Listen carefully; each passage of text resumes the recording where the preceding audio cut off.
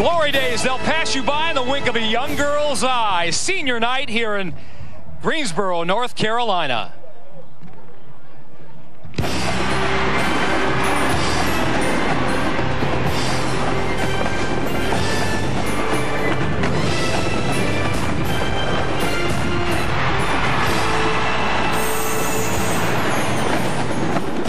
Welcome to Aggie Stadium in Greensboro, North Carolina. College football prime time on ESPNU. A Division One AA showdown. North Carolina A&T, the Aggies playing host to Bethune-Cookman Wildcats.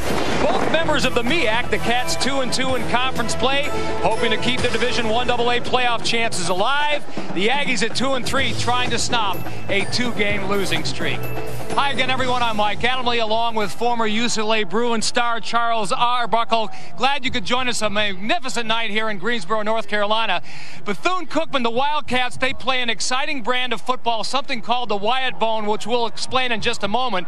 But they are led by a spark plug, five inch, nine inches tall, named Jimmy Russell at quarterback. Mike, he is awesome to watch because he does so much with the football. He handles it on every single play out of that attack, but also he can get down the field. You can see him with the nice nice moves down the field, but he has to have good decision-making skills and the ability to get in and out of holes. Now watch this move here. This is what you want to see out of your quarterback going downfield. However, when you need to throw the football, he's accurate enough to get the ball to the right receiver. The thing with Jimmy Russell is he is so effective in what he can do with the football, both with his legs and in the air. He's got great leadership skills. On the other side of the football, North Carolina A&T, pretty sound defensively, but offensively, they're downright anemic. That's why they need a big game from their running back, Brandon Sweeney. We have to call his name a lot tonight. Brandon Sweeney has to have a good game. You can see against Morgan State a few weeks ago, 205 yards. This has been an anemic offense at A&T. They need for him to have a big game.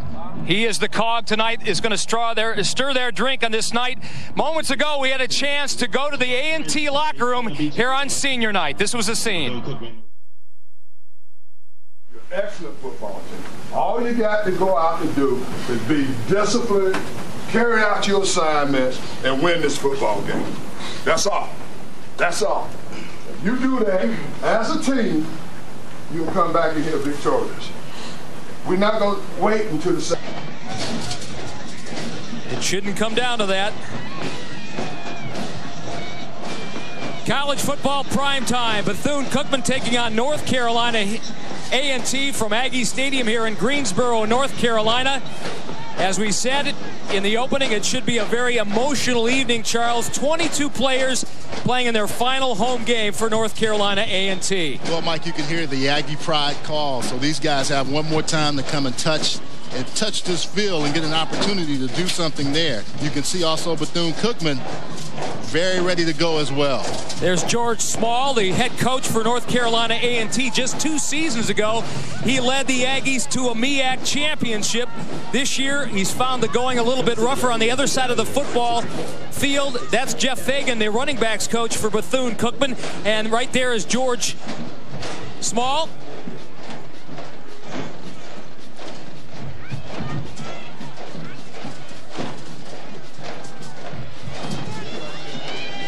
That's C. Angelo Wyatt, the assistant head coach.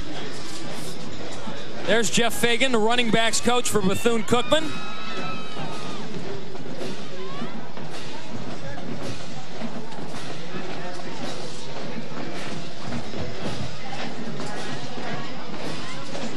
Bethune-Cookman won the toss.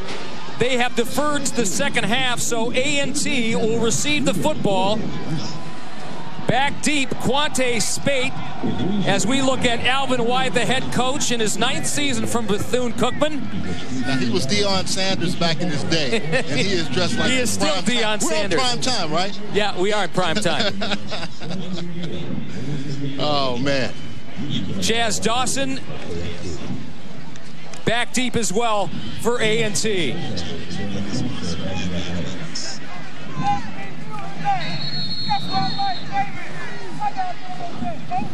Chaz averaging 21.5 yards per kickoff return. He's got a long of 44. Joseph Arroyo kicking or uh, Jesus Cortez kicking off for Bethune-Cookman, and we are underway here at Aggie Stadium.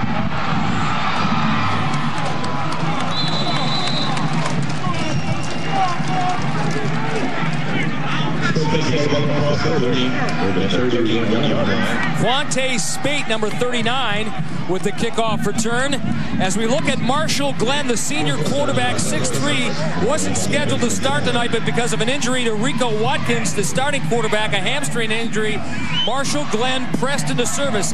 He has played quite a few snaps this season, 30 for 60, two interceptions, just one touchdown.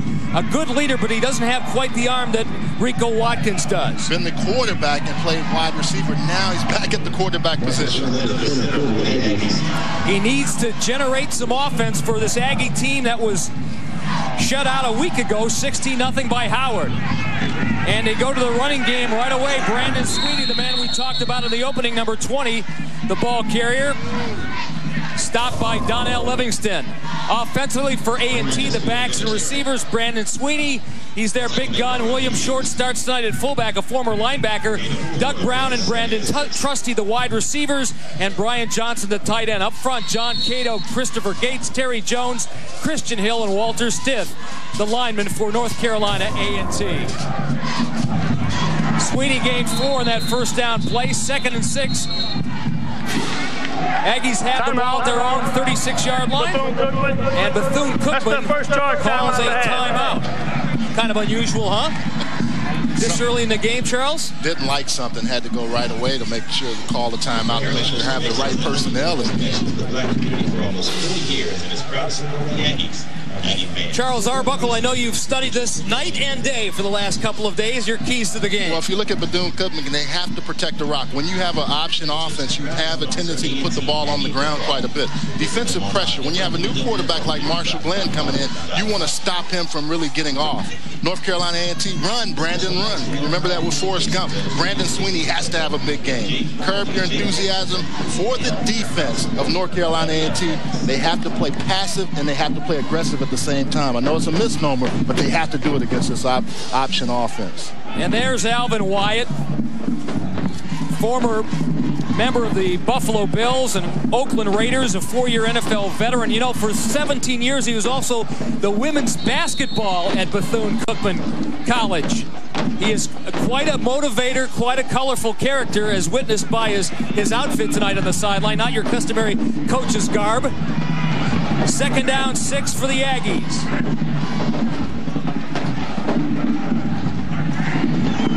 Sweeney trying to get the ball off before. Gives again. Sweeney on the carry. Defensively for Bethune-Cookman. Up front, Dennis King, Donnell Livingston, Ramon McCullough, and Terrence Cato. The linebackers are Rodney Hughes, Torian Charles, and Kavari Daly. And the secondary, James Mons, Travis Rowland, Bobby Williams, Division 1 AA interception leader, and Larry Summers.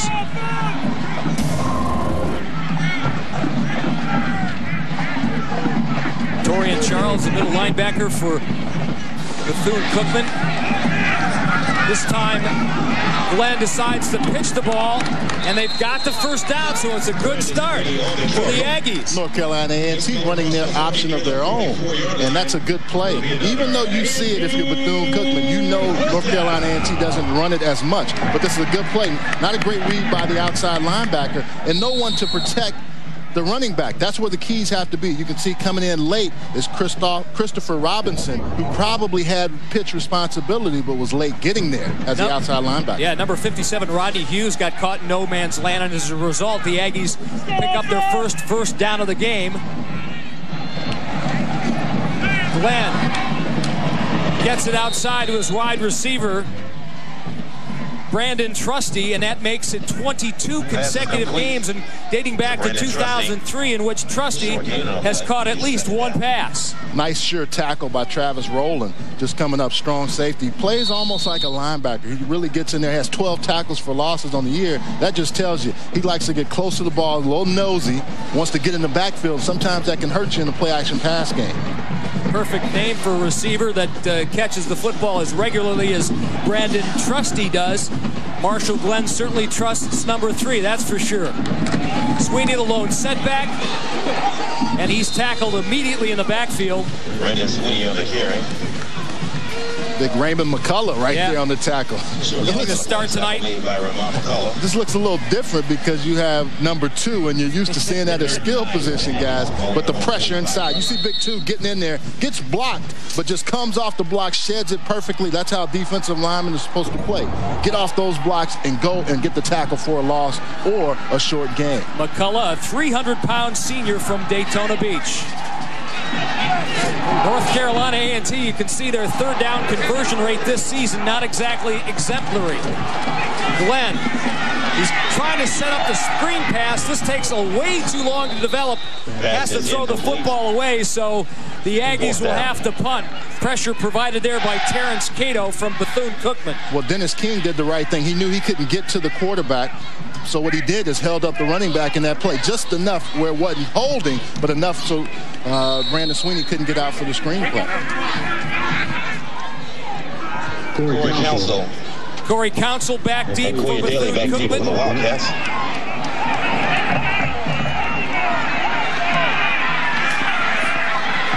Gets across the 10 to 15 yard line and knocked out of bounds at the 20. He's forced being stopped by number 16, Brandon Long. We're just underway here in Greensboro, North Carolina. Nothing, nothing. Bethune-Cookman and A&T.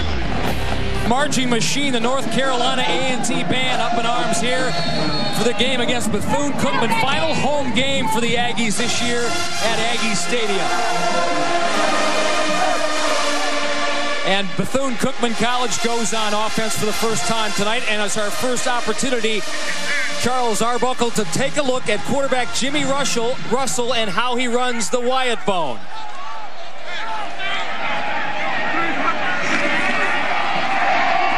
Razzle dazzle right off the bat. Jonathan Summers, the wide receiver, gets it on the reverse, but the A&T defenders able to sniff it out early. Number 94, Ricky Lewis. We're going to hear his name called a lot tonight because he is the real deal. Offensively for the Wildcats, the receivers, running backs are Eric Weems and P.J. Smith. Jonathan Summers, the man on the reverse there. Victor Johnson, Koya, Koila Daly, Tight end up front, offensive line, Johnny Santiago, Fred Nolan, Vernon Edwards, Rayando Lee, and Terrence Massey. The give inside. or so I thought, but the pitch to Richard Woodbury. You and the defense both thought that was the case, right? Defensively for the Aggies, three-man front, Larry Harrison, LaShawn McLean, and Ricky Lewis. Montre Jackson, Shamar Milton, Monte Daniels, and Orlando Norman, the linebackers for A&T. Thomas Johnson, Billingsley, McBride in the secondary for North Carolina A&T. Russell again, taking a long time to pitch that ball, and you can see what you were talking about early, Charles. One of their propensities is to put that ball on the ground, especially the way Russell was cavalierly holding it that time. Well, the way you handle the ball, you have to give it to the fullback fake, or you give it to him, and then you have that option to come down the field. You also want to try to pitch it. So the thing is, if you're a defensive guy, you want to make sure if he has that ball free, you have stronger hands than the quarterback. You try to knock it out. Orlando Norman, the man who made the last tackle for A&T. Second down and five, Wildcats. Russell to Summers. A gain of three, knocked out of bounds by Theron Thomas, number four, the first defender to reach him. Theron's dad, Thomas Sr., is the equipment hit man here at North Carolina A&T. Kind of an all-in-a-family kind of deal. Anytime you got MEAC games or SWAC games, you see a lot of that. You do, Mike. And I think the one thing right there you saw right away, they're throwing the football. Jimmy Russell can put the ball in the air. What you have to do if you're North Carolina A&T is make sure that you pressure him when he's running with the football. You hit him as hard as you can, as much as you can, so when he drop back, drops back to throw, he doesn't have the energy to get there. Third and short.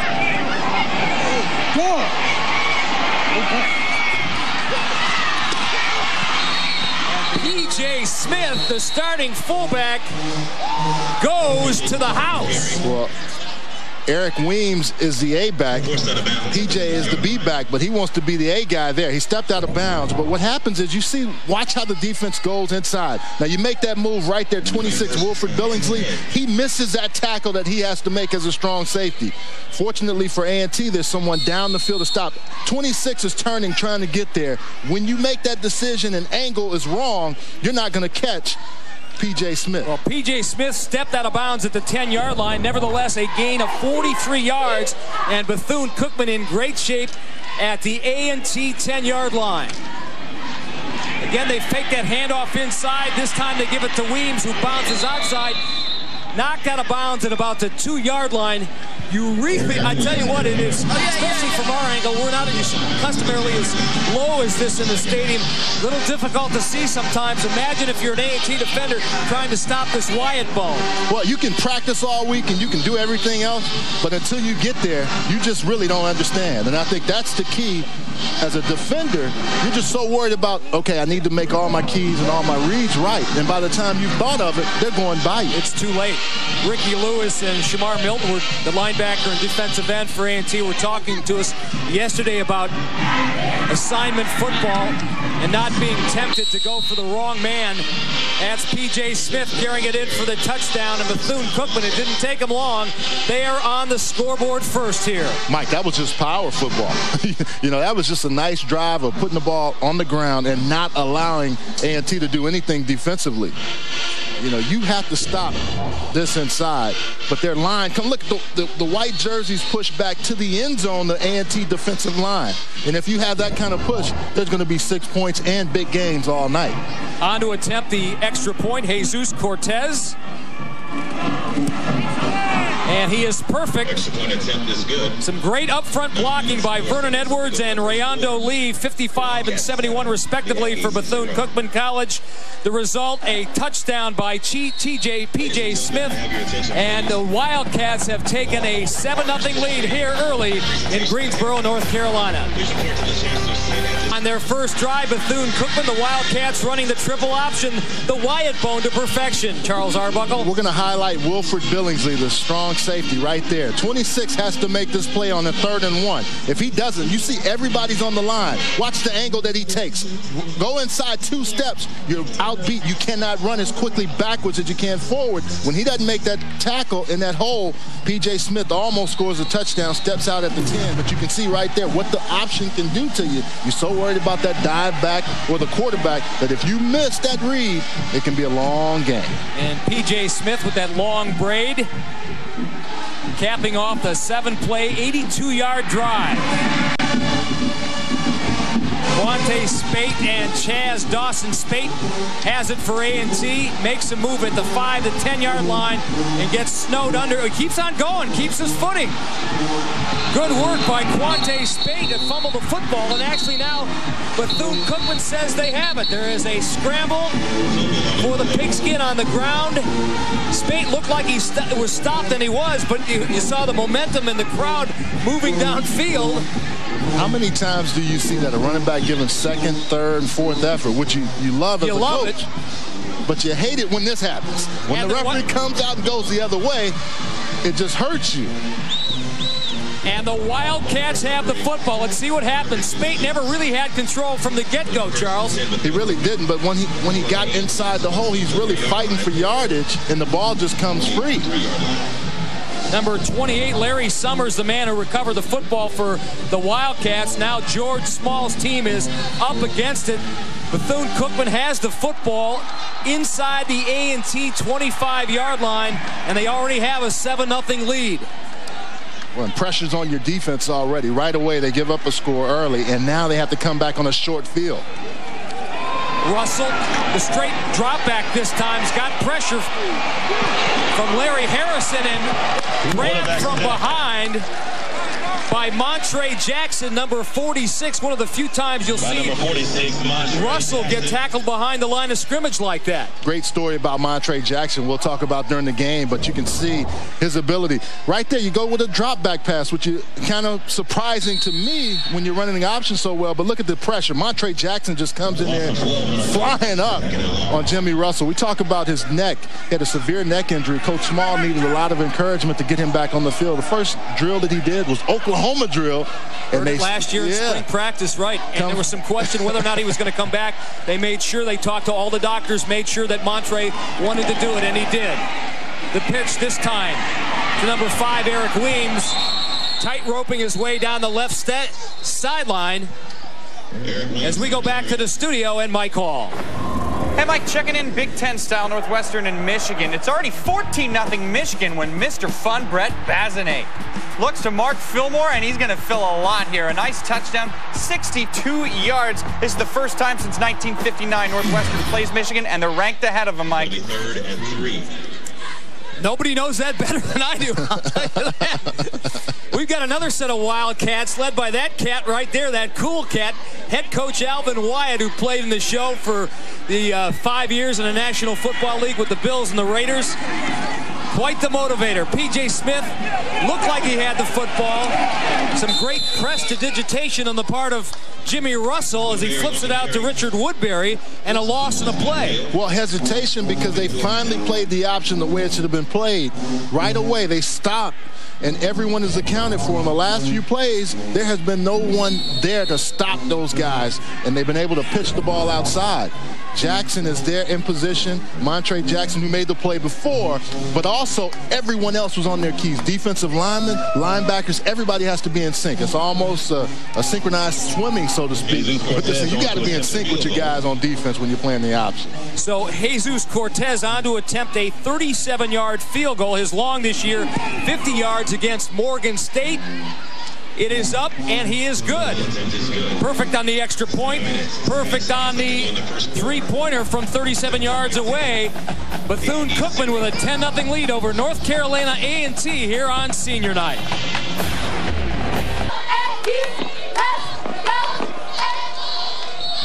Bethune-Cookman coach Alvin Wyatt. You know, he, he's got sort of a, a bone to pick with A&T ever since 1996 when A&T beat Bethune-Cookman 73 to 7 on their homecoming night here. He thought they were rubbing it in a little bit too much, so the score gets a little out of hand here. Don't be surprised. Flag on the play on this return by Quante Spate from A&T usually the flag dropped where it was usually in means uh, holding on the routine return team. A&T just can't win, and I know when you're Doing the return, illegal block in the back. Number 53 of the return team. Penalty is half the distance to the goal. First down. you can't keep putting yourself in this position, Mike, in order to win a ball game, whether it's at your home or wherever you are. You have to put yourself in a much better situation. and that was the guy who should have known better a veteran Monte Daniels was the starting inside linebacker for George Small and see what what has happened to A&T this year in the MEAC conference third in the league that's not a category in which you want to be No, you don't want to be there. uh, among the uh, leaders. They'll start this offensive possession inside their 10 at the 8-yard line. Once again, Marshall Glenn getting the start for the injured Rico Watkins. And on first down, a quick toss outside to Brandon Trusty, number three. Brandon Trusty on the reception. And this is when No you're most touchdowns this season, but 33 receptions. So he is he has been A&T's go-to guy. And if you look at him over the course of his career, 81 career receptions, but only two touchdowns. Now he has 22 consecutive games with the catch. More of a possession receiver. They want to get him more involved, would like to be able to throw the football even more effectively, but the thing is, they have to get that. You pick up seven yards on first down, that's a very good sign for this A&T offense. A&T, second and three. Flag on the play. Give to the tailback, Sweeney. Know, the other thing you want to do is keep the ball out of the hands of the Bethune-Cookman offense. Michael Ferguson. Michael Ferguson, the man on the carry there for A&T. Defense in the neutral zone at the snap. Number 92, five-yard penalty. Repeat the down. Dennis King guilty of the infraction for Bethune-Cookman. You always take a gift. if you're A&T, you you know now you can breathe a little bit better. You can get your offense rolling. You got that initial first down. Know this is the area where a lot of teams don't practice and use the ability to get that first first down. That first down when you're that far back in your end zone or your your territory, you have to get one first down, and then you can open your playbook a little bit more. A&T running out of the I formation. Glenn gives it to the tailback. Michael Ferguson again. And the yards tough to come by inside. Well, if your offensive line aren't pushing and they're not getting any movement for you, it's hard.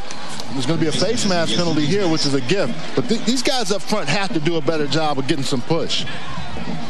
We're talking about Christopher Gates and Terry Jones and Christian Hill. Number 41 of the defense, five yards added to the end of the run. Remains first down. You know, you've had some movement on this offensive line. There's been a number of reasons why they've been anemic. Bethune-Cookman, two penalties in a row. So you can tell Alvin Wyatt is not happy. But right there, look at the push on the line. Not much. Fullback gets stoned, and right there, where'd the face mask come? I don't see it. Really, the second hand, the left hand, maybe, but it didn't look like a clear face mask. Michael Christon in the game, number 34 at fullback for the Aggies. Ferguson on the carry. Michael Ferguson with the carry. Tackle made by Torian Charles. Torian Charles on the stop for Bethune-Cookman.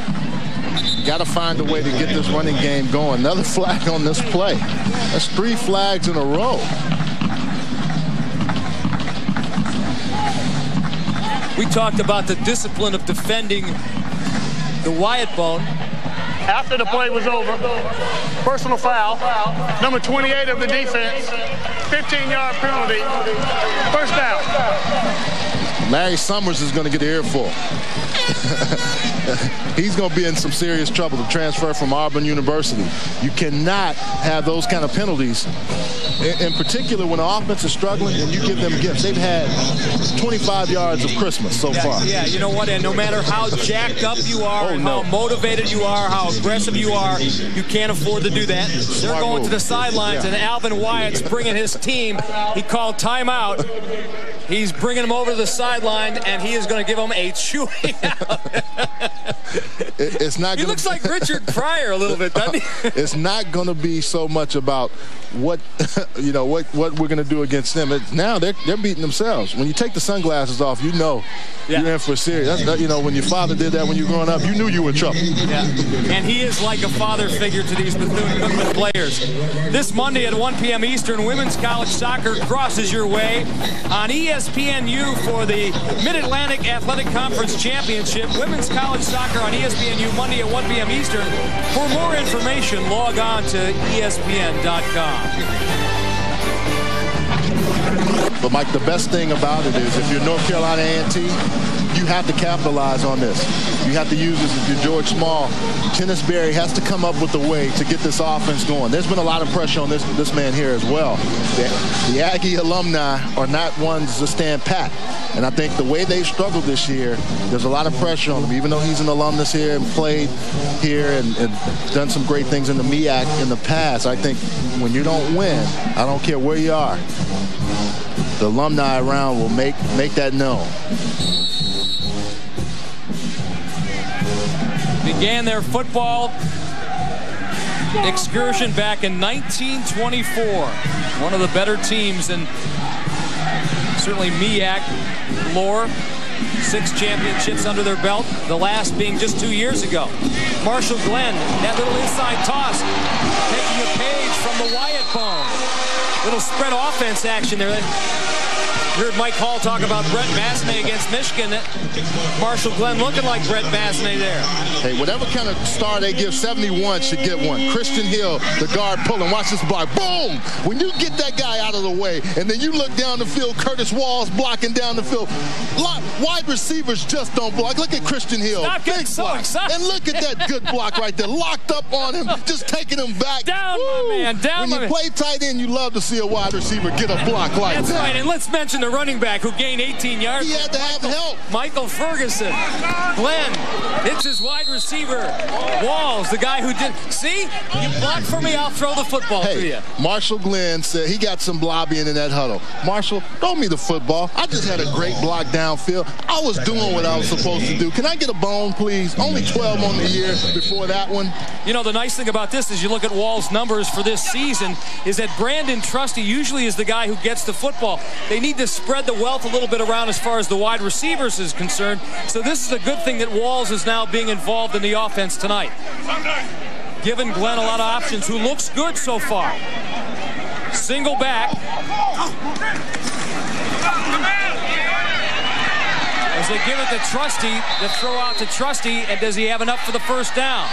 Brandon the carry. Brandon takes that around on that little counter play and comes back around like a short reverse and ran into his own man. Look, I like that play how it's set up, but turn he's going to run field, turn it upfield. He's going to turn into the wall. Yeah, Boom. and fellow wide receiver Doug Brown, number five. Walter Stitt blocking for him, the big 6'8", 310-pound left ta right tackle who transferred from Western Michigan as a 260-pound tight end. That's called training table. Glenn, nice, nice decision there. Pitch wasn't there, decided to keep it himself. I'd venture to say the defensive line was offsides when they're trying to make a play on a short yardage play. That would be the fourth penalty if it's against Bethune-Cookman. Torian Charles is the man who stuffed it up there, number 11, the middle linebacker, a transfer from the University of Florida and Bethune-Cookman's leading tackler. And you see Marshall Glenn yeah. signaling, hey, it's on the Wildcats. You know, we talked to George Small yesterday. What did he say? Football intelligence and command of the offense was what Marshall Defense Glenn had. in the neutral zone at the snap, number 92, five yards from the previous spot, results in a first down. Well, you just do what you have to do. You make a play and you find where that play is going to come from. Good setup. They're running the option a little bit. They have that in their playbook as well. A&T does. It's not their staple, but with George Small, he has to be happy so far, content. He won't be happy until they score. You know, Coach Small told us yesterday, you know, about many attributes that that young man, Marshall Glenn, has. He doesn't have the arm of Ulrich Watkins nor the speed, but he is a leader, and he's a class act on the field making good decisions tonight. Michael Ferguson again. Or is it Brandon Sweeney back in the game? But they've been alternating the two of them. That little Sedilla at the top of the O there. It's hard to tell if it's a sixth. There it is. That's number 20, and that is definitely Brandon Sweeney. Grew up in the same uh, part of Akron, Ohio that LeBron James did. His cousin is Tyrell Sutton, the fine freshman running back from Northwestern. You got it in there. you know I was. you never graduated, right? We never. we love this too much. If if our bodies were able, we'd be on that field tonight. I'll tell you that, Charles. Glenn rolling to his right. He took a tremendous, tremendous shot by Travis Roland as we go back to the studio in Mike Hall. All right, Mike, let's Anything and all things can happen in college football. That much we know for certain. North Carolina A&T on third down tonight, one of three, and they face a third and six here, a big third and six. Glenn's got his tight end wide open, touchdown, Aggies Now where did that come from? Brandon Johnson. Brian Johnson. Brian Johnson, excuse me. Uh, he, he doesn't catch the ball enough. He, he kind of don't know his name. Yes, yeah, well, guess what? It was the ball fake. It was a great fake. Great call in that particular area. Seam route. I'm happy. I mean, I'm surprised because they threw to the tight end. Four on the year. Number five. Number five is a touchdown. You, know, you got a guy that's like an Arbuckle. You got to utilize his talents. He can get down the field. He yep. just showed it there. Brandon Trusty to hold for Joseph Arroyo. as A&T now cuts the Bethune-Cookman lead to just three. An exciting drive there, aided by some Bethune-Cookman penalties at all the wrong times, put A&T in this football game.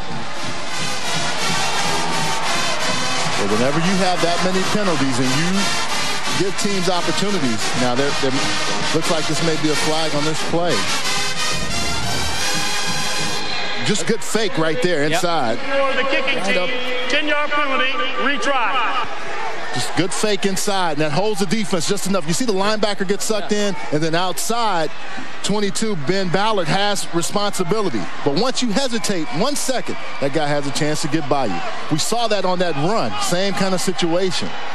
Good job by Brian Johnson. I know he was waiting on that. They called the play in the huddle. And when you know it's coming to you, what do you do, Mike? I got to catch it. Got to catch it. Got to catch it. Going to catch it. And he did. Cortez has to kick again because of a holding penalty against A&T. This one from 30 yards out, and he's got it. So Cortez, whether field goal or from extra point range, he's been nailing them, or Arroyo, I should say. Joseph Arroyo with the extra point from 30 yards out was like a field goal. The Aggies. Aggies cut the Wildcats lead to three here good job of capitalizing on the mistakes by Bethune-Cookman. And also just some good running by. It was a good combination between Sweeney and then Ferguson. Ferguson came in and gave him a nice little spark. The team seems to rally around Marshall Glenn, and that's one of the reasons why he's in the game. If he's not able to play or gets injured, they'd go to Marcus Hammond. And at the last resort, talking to Coach Small yesterday, Rico Watkins would come in. But ultimately, if you can win the game with the guy that can manage it and also have pressure taken off around him, having people make plays like a Brian Johnson, Trusty we know is going to catch the football. He does it every single game out. But you need other people to step up. And you saw in that drive, Michael Ferguson was one of guys. Lee Woodson set to kick off for A&T.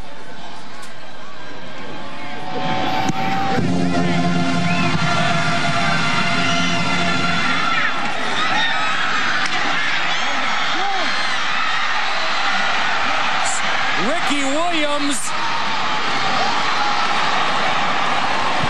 Holy cow, not even listed as one of the return man for Bethune-Cookman. And Ricky Williams looking like his namesake when he used to play for the Texas Longhorns. Well, if and if he does return it, he has 11 on the year, one for a touchdown, a 90-yard long. Now let's let's change that. He has another one on his belt book for a touchdown. Ricky Williams didn't get touched until he got to the sideline. And that's not good if you're a returner for the other team. 82 yards.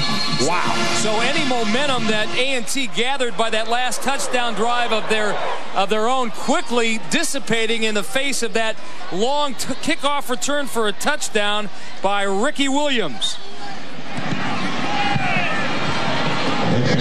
Is good. One minute, 44 seconds left to go in the first quarter game-changing plays. Sometimes comes in special teams. We focus on offense and defense. That's, you know, everybody loves to see that. But when you can do that suddenly like that, the crowd. And I and I apologize because I was looking at the uh, A&T return man. Ricky Williams leads Division One AA in kickoff returns. Earlier this year, a 95-yarder for a touchdown. He's been averaging over 30 five yards per kickoff return, and you can see why. Well, no one touches him, and it's great blocking. If you get a short kick, you got to either kick it deep to him or kick it to one side of the field. If you kick to the middle of the field, you give a guy like Ricky Williams too many opportunities to make a move inside. With only 12 returns, that tells me, Mike, he's not getting the ball kicked to him a lot. But when he does, well, you better watch yeah, out. Everybody in the MEAC certainly knows about him in Division 1 AA, that's for sure. Second kickoff return for a touchdown this season Some things you can hide, but you can't hide a good kickoff returner.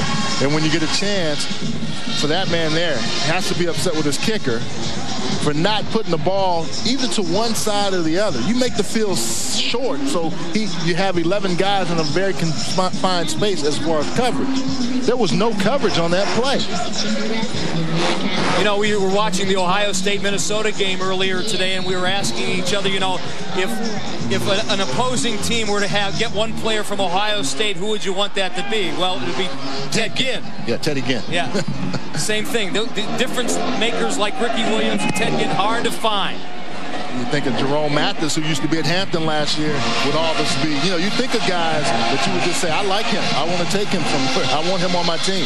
Quante Spate returning the ball for A&T out across the 25-yard line. Tackled by James or Cedric Mason, number 24 for Bethune-Cookman. Tomorrow at 12.30 p.m. Eastern, catch all the bumps, sets, and spikes on ESPNU's coverage of women's college volleyball as the Cincinnati Bearcats take on the Notre Dame Fighting Irish in South Bend. Women's college volleyball on ESPNU tomorrow at 12.30 Eastern.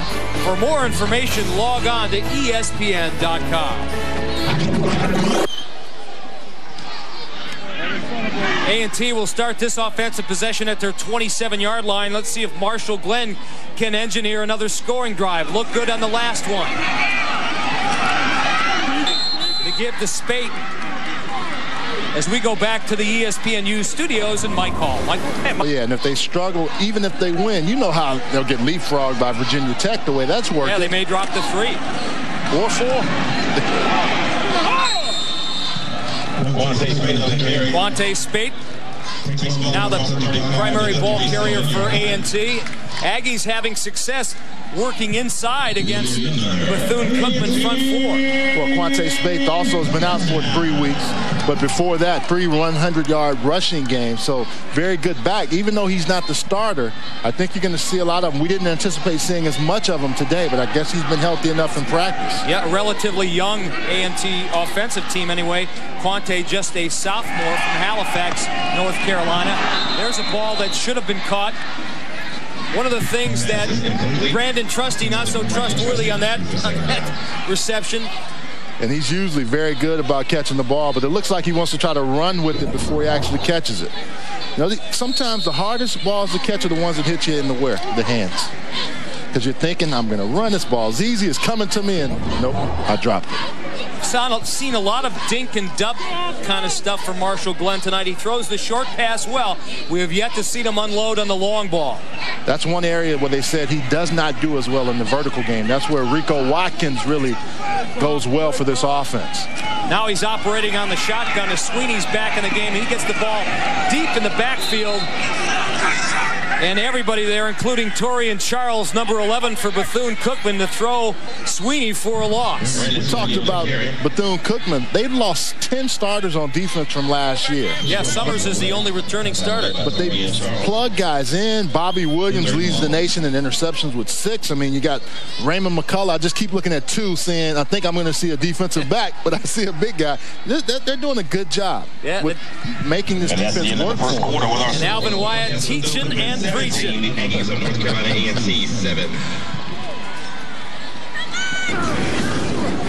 Well, he's got so many sayings, does Alvin Wyatt. One of them, who's the boss? We are.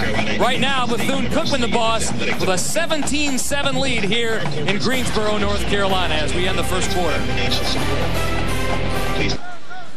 Back here in Greensboro, North Carolina, about to begin the second quarter of play here on college football primetime ESPNU. Bethune-Cookman and their coach Alvin Wyatt leading 17 to 7.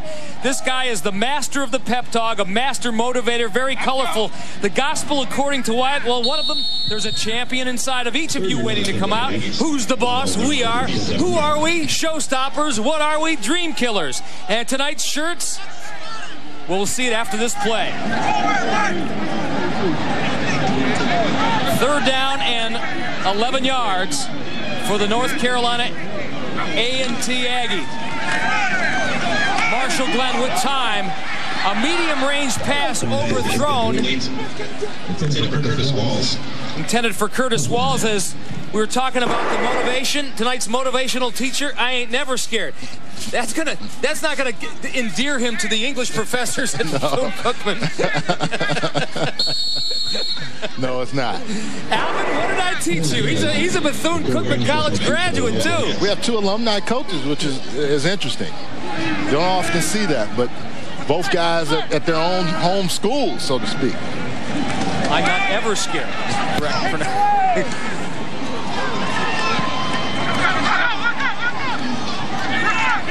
Ball rolling to a stop at the 22-yard line.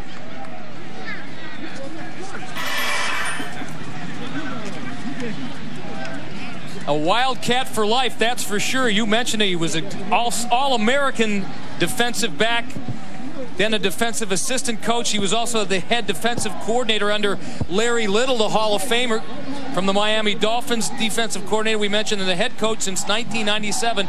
And before all that, or while that was going on as an assistant coach, he was the head women's basketball coach for 17 years. And Bobby Williams, his star safety, his aunt played basketball for Alvin Wyatt. Can you say multitasker? he was able to do that. He's spinning a lot of pie plates at the same time. Well, there's PJ Smith getting loose again. So far, A&T has just not been able to stop the Wildcat fullback. Jawan McBride finally runs him out of bounds. Well, this is where the option quarterback has to make that read, and he's going to either give it to him or take it away. He gives it to him. You can give it and take it away, and PJ is able to show you some yards. Now look at this. He, he has the ability, and if he sees that opening out of the peripheral vision, that's Jimmy Russell, he will either hand the ball off or pull it back. And right there, very good read. And PJ with a gain of 20 yards on that last play, he gets it again. I wonder if you can see Charles that unconventional stance that he has. He almost he's got a three-point stance, but it's like a track athlete more than a fullback. The center also does the same thing. Vernon Edwards gets down with the ball on the hand hand and then also puts his other hand down as opposed to putting both balls on the well, what he does here is you can see he wants to pull it out, but he decides to keep it there, and it's such a good fake. But Wait look, Jimmy Give me Russell, the ball back. Yeah, but Jimmy Russell follows him to make sure, sure that he doesn't fumble. yeah, and he yeah. can get the ball right there if he does. This time he does keep it himself in a very dangerous pitch, but somehow he gets it off. Mike is not very dangerous. When you watch these guys in warm-ups, Jimmy Russell would go down the field. It's going to be a flag. It's going to be against A&T. He will go down the field 30, 40 yards before he'll Personal actually pitch foul, the ball. Unnecessary roughness. Number 46 of the defense. 15 yards added to the run. First down. Montre with a little frustration. Montre Jackson, George Small can't like that. Richard Woodbury, the ball carrier there. He actually, he actually, Jimmy Russell, watch this. He launches this thing. Well, he keeps his spacing, over, and he knows he over, defender. over defender. He knows where the guys are, and they were doing this down the field before the game. They were working. Montre Jackson, I don't know where he comes in. Maybe it's back off the play. We don't see that happen down the field. So clearly had to happen away, but they work on it going down the field so they get the spacing and know what they can and can't do. But that time it was over 52 Orlando Norman. I mean, he actually gets it over his head almost like a, a little basketball flip. Yeah, a short jumper from the key. Pulls it out from Smith, pitches it outside to Eric Weems. Wilbur Johnson taking him to the turf. And see, that's the problem. If you're a defense, if you're A&T, you don't see this. Alonzo Lee, the defensive coordinator, who spent a lot of time in the MEAC, even got behind the quarter. I mean, got behind the center and did this himself just to show. But look at this. As soon as he gets hit, boom. He anticipates when he's going to get hit by the defender and knows I got to get the ball. I have a couple of seconds. I have a second. He knows from feeling and flow. Now, if you're the defense, defensive guys, you got to make sure you make him pay every time he gets in that situation. Okay, there you see P.J. Smith in that track stance. Doesn't get the football. Weems does. He fumbles it, picks it up, and goes in the other direction. And a huge loss for Bethune-Cookman. Ricky Lewis detonated that play from the get-go and fouled it through.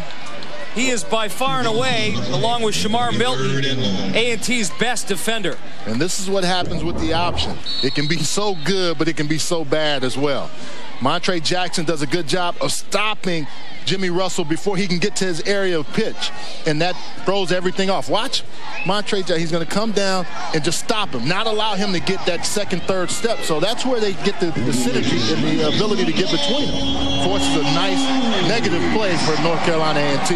The result, third and 25 for Jimmy Russell and company and the Wyatt bone, and they won't get the play off talk about Ricky Lewis, him and Shamar Moore, Milton. See? Timeout. Bethune-Cookman. That's their third and final yeah. charge timeout of the half. You know what? 12.02 remaining in the second half. and already they've used up all three timeouts. Alvin Wyatt, you're going to have to explain that to us after the break. Division One AA schools don't have the budgets that the big schools do, but if you're in the MEAC and the SWAC and you've got a road game, I guarantee you your band's going to follow. That was the Bethune-Cookman Wildcat Marching Band going wild in the stands. So is their football team. Who says Jimmy Russell can't throw the rock? A nice gun. I mean, he's able to throw the football, but they have so many more yards to gain. That's just getting you in a better position to kick a field goal. Darius Butler on the receiving end of that aerial. Transfer from University of Iowa. A lot of transfers can come to Division 1A school, double, double A schools because they can play right away. They don't have to sit out. And, you know, it's a great it's a great thing too, and, and a lot of these guys have to follow. Even so, even somebody signs a letter of intent at a bigger school, these coaches follow their career. You recruit almost two, three times. You make sure if a guy transfers, can we get him? Jesus Cortez is no good. So A&T dodges a bullet here thanks to that big loss and Montre Jackson breaking up that play on the reverse to uh, Eric Weems.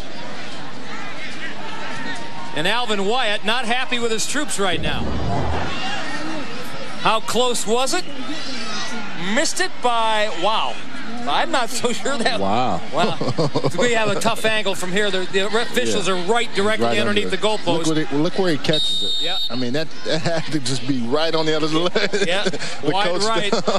yeah. saying, no, it's over. Yeah, he tried to be like the catcher, you know, bringing the ball back over the plate there. Nothing doing. So A&T takes over, trailing by 10, 17-7 with 11-12 remaining to go here in the first half. And Marshall Glenn going to work. He's got Brandon Sweeney on the outside all alone. Cuts it back inside across the 45 and almost to midfield before finally being brought down. Hey, John Cato, Mr. Durability out front, but this is the quick option, speed option, get it outside type of option. Look at Big 75 down the field. Marshall Glenn knows he's going to get hit. 75 down the field trying to block, has the block earlier, and then goes and gets it again.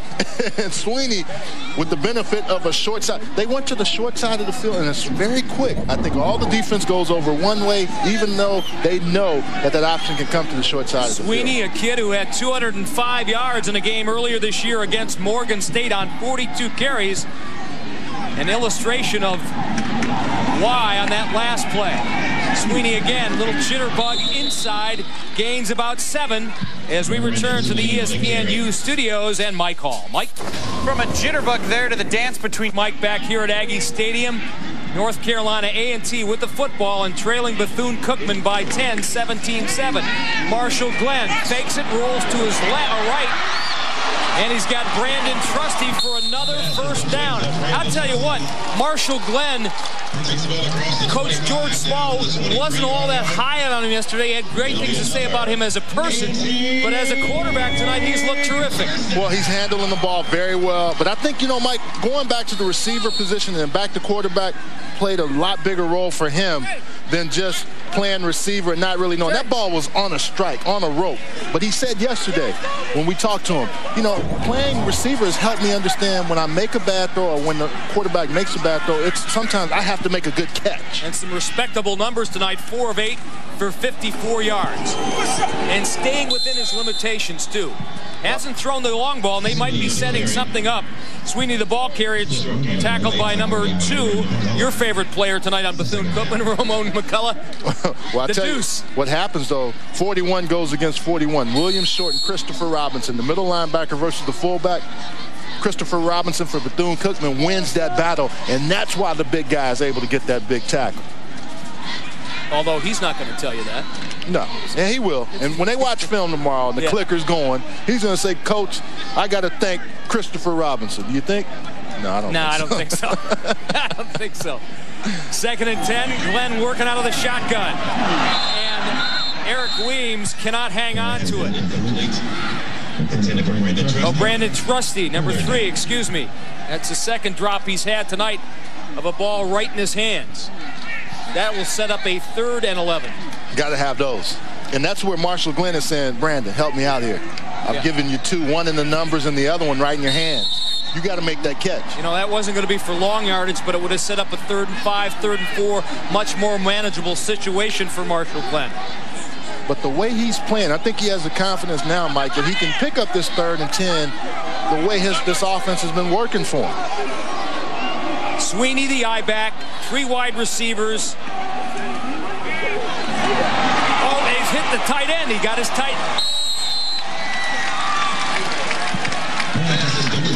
Joshua King, the backup tight end. Heeding your call. Well, if you're a quarterback that hadn't played in a while, I'm going to the closest receiver and the guy that can make a play for me. This is just a jump drop pass. He sees that guy running inside. They vacate a zone. He's able to get it to Joshua King. If you're the quarterback, you love tight ends. So I knew when he was playing, I didn't even ask him because I said he's going to throw to the tight end. This game plan that uh, George Small has put together tonight has been very, very efficient so far. Of course, they need to capitalize here. First and 10. Give it to Sweeney, who gets nailed in the backfield. Tarian Charles, the leading tackler this season for the Wildcats, leading the charge. But Tarian should thank 41, Christopher Robinson again. He comes in and stops Michael Christian's cold in his tracks, and Sweeney has to cut back in before there's anything there. This is a next level player. Oh, he- he's got- 6'1", 245. He's got the goods. He got he's got game. Yeah. Mom won't like that at home in Austin, Texas. I'm sorry, but he's got game. He can play the game the way it's supposed to be played. He's with, got- with English yeah. for me. She'll say, hey, that's not proper English, son. Glenn's in trouble. Got to reverse his direction in the backfield and finally finding a receiver. Pass is complete. Michael Ferguson. Looks like. Back in the game, who's been alternating tonight with Sweeney. Well, that defensive line, we talked about him. They have to get pressure against Sweeney. Pressure him. And right there, when he throws the ball, there's two defenders right in front of him. One being Ben Ballard, the other being Rodney Hughes. So third and goal, but third and goal from the 16-yard line. 6.59 remaining here in the first half of play. And a huge play for A&T. Oh!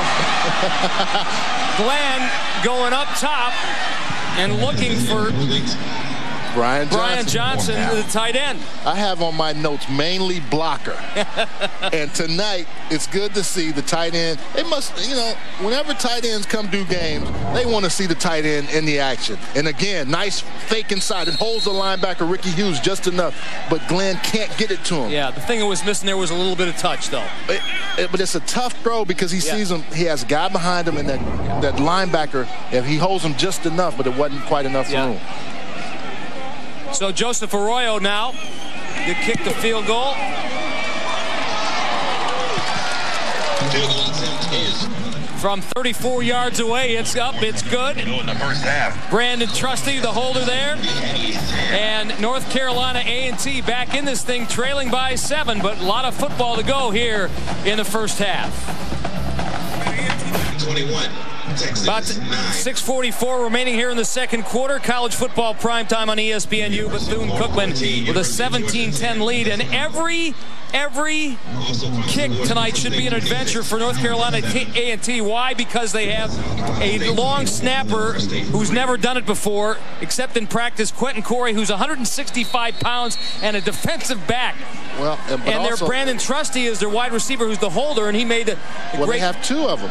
Lee Oliver is snapping for the, the short snaps. Yeah. But Council, Corey Council is, is doing it for the deep snaps. Quentin Corey, right? Quentin Corey, excuse me.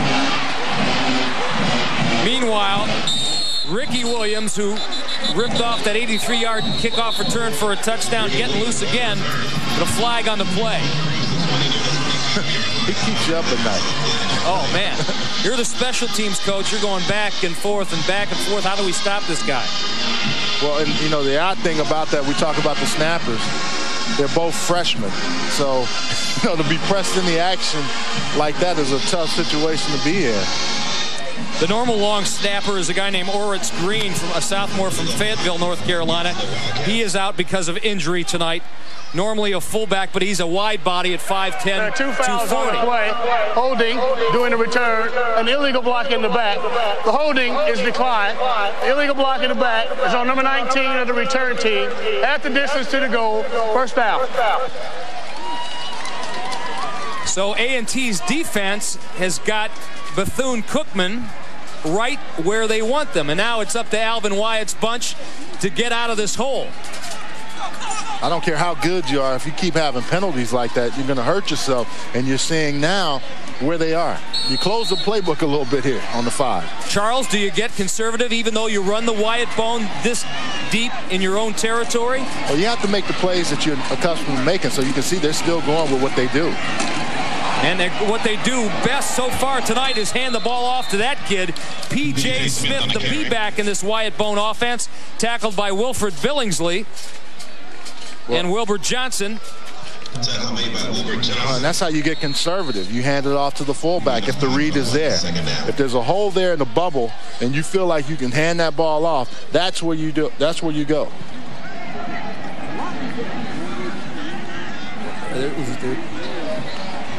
Second down and five. This time Russell pulls the ball out, and runs it himself. And a perfect illustration of why this youngster is so dangerous. Monte Daniels finally brings him down. And they say he's not very fast, but he has football speed. When I watch him on film, I just see him really making plays. Now, you're going to hear a big collision. You'll see this on PJ right there. Boom. He comes inside 52, but that doesn't allow, that allows him to get outside. When you give him all that room, Orlando Norman comes in and blows up the play, but Jimmy Russell's running on air. Just like that, they, they also put the ball in play very quickly. They give the ball to P.J. Smith again, who's having a banner night. Across the 30 into the 31. I mean, this is what where you just look at this team and you say, man, they they keep you up at night if you're a defensive coordinator. P.J. coming into tonight's game, six touchdowns. before the snap. Prior to the snap, false start.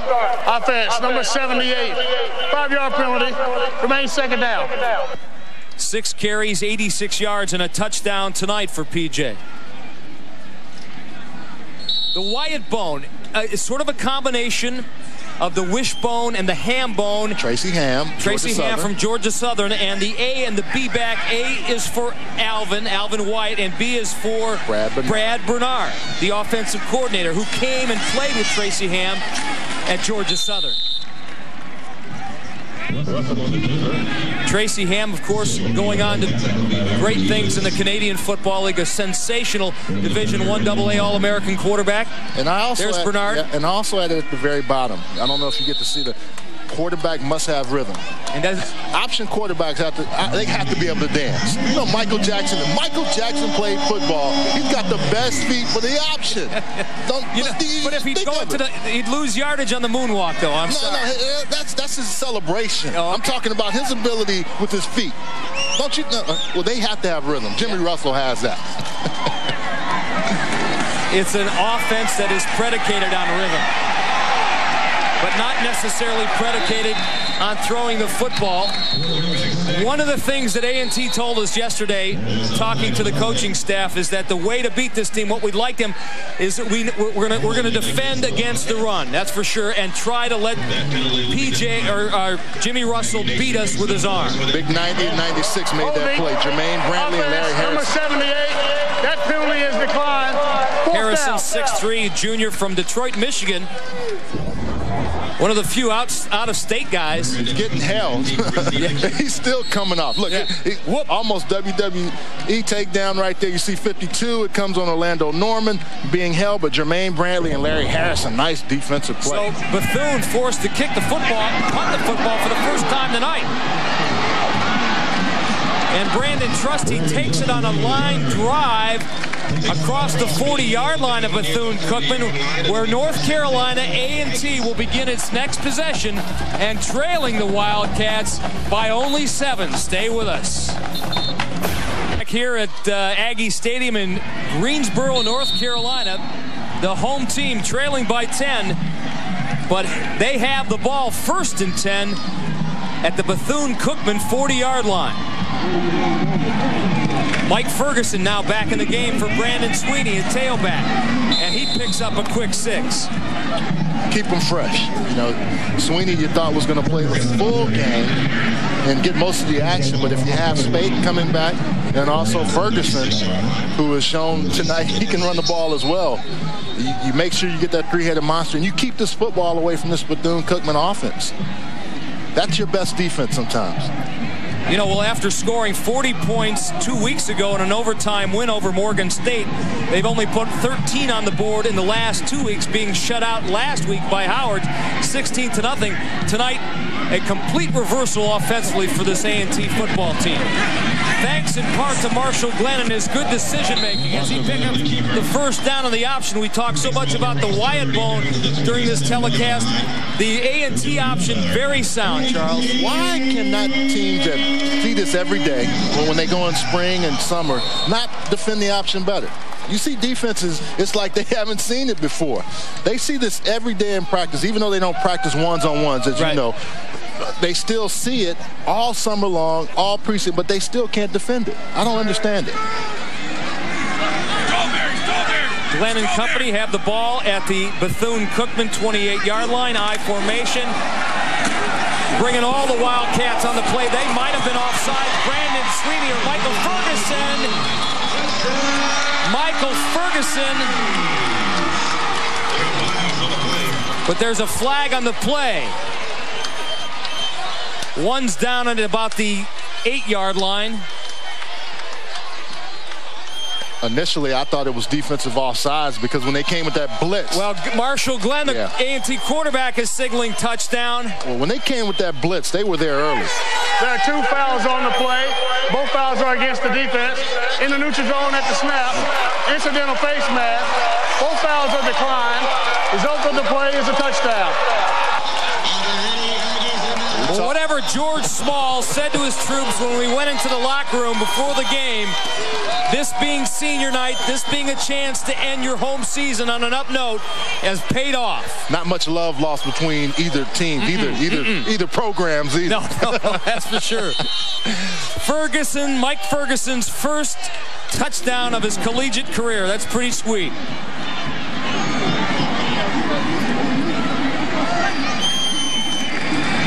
Arroyo for the extra point.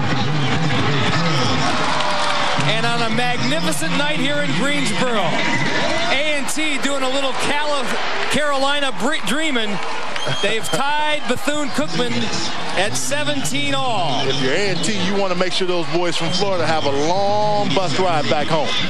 And we go back to the ESPNU studios. Mike Hall, what do you have for us at halftime? Well, hopefully a show that's as exciting as your game right now. We'll take you out to USC, see if they can get back into this BCS, BCS hunt for number one, and they do pretty big style. We'll also check in on the world's largest outdoor cocktail party and see what happened there. It was a close one, came down to the final quarter, final minutes, and we'll update you on the Big Ten teams, who's for real and who is fake. Plus, a fantastic game. Texas is getting mopped up by Oklahoma State. We'll update you on that all coming up at half. Wow. Who'd have thunk, uh, huh? Well, whenever you have that ability to get up there. It's always somebody you don't expect. And Oklahoma State being right next door, Oklahoma gets a lot of Texas talent, but Oklahoma State does as well. So that's, how, you know, they want to beat those guys. Yeah and Oklahoma State's program has not exactly been uh, weak the last several years. But that is definitely an upset of major proportions. Now we have a ball game. 17-17 courtesy of this first collegiate touchdown ever by Michael Ferguson. Blitz comes inside, nobody outside. You have one man to beat. You beat him. He gets your face mask. Bobby Williams, you're not going to get me. I'm going to score my first collegiate touchdown. Mama, I want the ball to bring home. And A&T, the last couple of games running the football. How about that last week against Howard? Minus five yards. Tonight, 122. What did we say in the open? If they run the football, they give themselves a chance because they can make plays. They have the guys to do it. Just have to do it on the field. They've, they've benefited by the fact that uh, Quante Spate is healthy tonight. He's been able to help Brandon Sweeney, and so has Michael Ferguson. And another flag on the play. This has gotten a little bit ugly. And you can see the rivalry between the, the Aggies and the Wildcats, how, how hot it is. It's a long way from Florida to North Carolina, but these two programs, though, yeah, like you said, they don't, there's not a whole lot of love lost between the two of them. I, now, this face mask, I'm kind of surprised because Montre Jackson comes and grabs him from behind, almost Roy Williams. Incidental face mask, number 46 of the defense, five yards added to the end of the run. Now, the NFL has imposed a rule. You can see 46 right there playing it well. He has to get outside. If he doesn't make that play, now let's see. Grabs his face mask just enough and then pulls him down like Roy Williams, who they have a rule now in, in the NFL. He come, he hustle. This is a great hustle play, but only place you can grab is a guy's face mask or his back. Just enough to call that play. And that's why they instituted a new rule because you can see how he can almost, Eric Weems could be hurt on that play. Bethune-Cookman tied on the scoreboard, but leading the battle, if there is such a thing of penalties. Nice touch there by Jimmy Russell out to his wide receiver, Darius Butler, number 15. First down and then some with 2.16 remaining to go here in the first half. And let me not confuse people. They haven't really instituted that rule in college football, but that's one of the reasons why they've taken it away in the pros. Right. Great play to Darius Butler. You come back on the heels of that nice run. Good fake inside. Good protection. Now you had that pocket to throw in. Not a very good throw, but a good catch by Darius Butler. Well, the way that P.J. Smith has run the football, all you have to do is a little fake to that guy. That freezes everybody and allows the, the uh, rest of the offense to open up. You can't teach that. You can't teach that. You can't teach that touchdown. Wow. Jimmy Russell. This guy, I think, was the only 4'6", 4'5", but Hey. man, you're right. He has got that football speed. I just keep going back to Jamelle Holieway. I'm not comparing Jimmy Russell to Jamelle Holieway, but I saw the wishbone my freshman year run better than anybody I've ever seen it, Jamelle Holieway. This kid can run the wishbone very, very well. If you over pursue, he will absolutely toast you, and that's exactly what Jimmy Russell did to the A&T defense.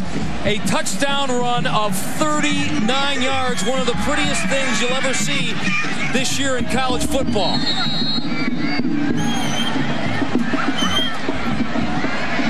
Jesus Cortez on to attempt the extra point. And he missed it. is good. No holding, but Missed it wide right. The thing with the, the wishbone is that you would think on a grass field also, too, and no crown. Just look at this. Inside, boom, I'm gone. And and everybody, this is slow motion, mind you, people, and he still looks like he's going in regular speed. A&T's best defender is number 43, Shamar Milton. He runs by him with that over the play. cutback. Yeah. Shamar was nowhere to be found, and then I don't think anybody got a hand on Jimmy. Football is all about angles and how you do things. And, and it was like Jimmy Williams, or Ricky Williams, excuse me, earlier, when he went untouched. Jimmy Russell did not get touched until he got to the sideline. And guess what? He's just a sophomore from Jonesboro, Georgia, averaging uh, after that last touchdown run. He's been sacked quite a few times tonight, or, or tackled in his own backfield anyway. A 39-yard touchdown run for Jimmy Russell has put Bethune-Cookman, the Wildcats, who home is in Daytona Beach, Florida. They've got a 23-17 lead in what has been an exceptionally entertaining MEAC game here in Greensboro, North Carolina. We talked about it before. You have to have rhythm and know when you can make certain plays. And on those particular plays, it was set up by linebackers flying in real hard from the outside, taking the outside away. So what do you do? You make sure you can pivot inside. And Jimmy Russell, in watching tape on him, has been able to do that outstanding every game I've seen him. South Carolina State was one in particular where he had so many nice moves inside. They didn't win that ball game, but it just showed me his ability how to move inside with the football. Quante Spate and Chaz Dawson back deep for A&T. Jesus Cortez kicks the ball out of bounds. That'll mean uh, penalty, and A&T will put the ball in play at the 35.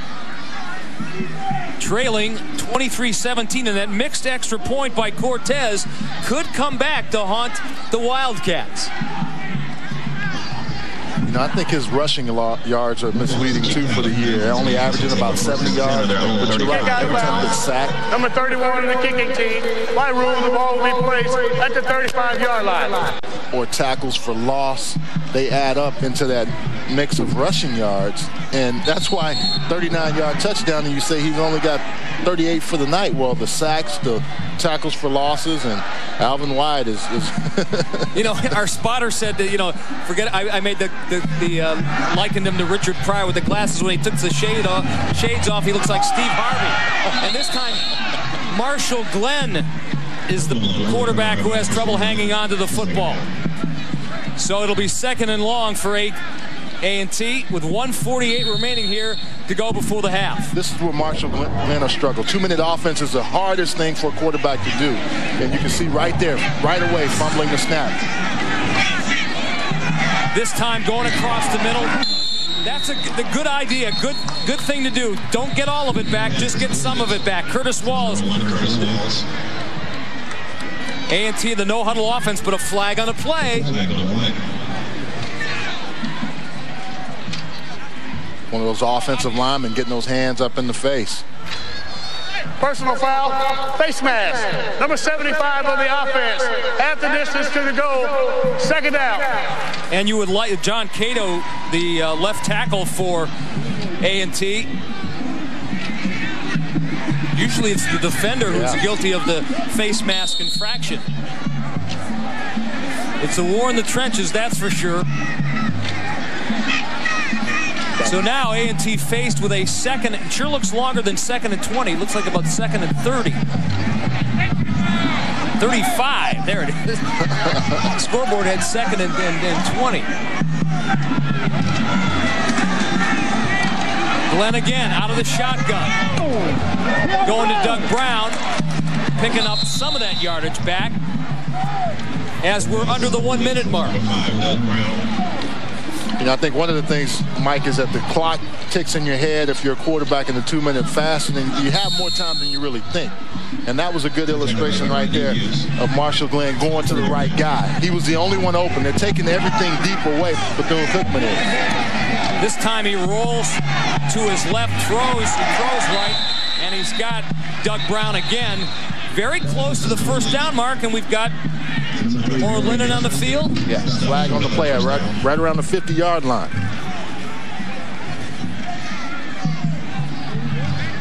I think the side judge is going to make this call. Or the back judge, back judge, excuse me.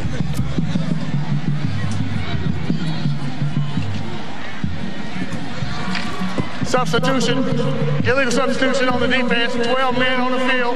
That penalty is declined. Result of the play is first down. Well, when the back, the, the, the, back judge is the guy that can see that. He's the farthest enough away. He watches. If the defenders are not on the field the way they need to be and they can't get off in time, you got to get outside those numbers.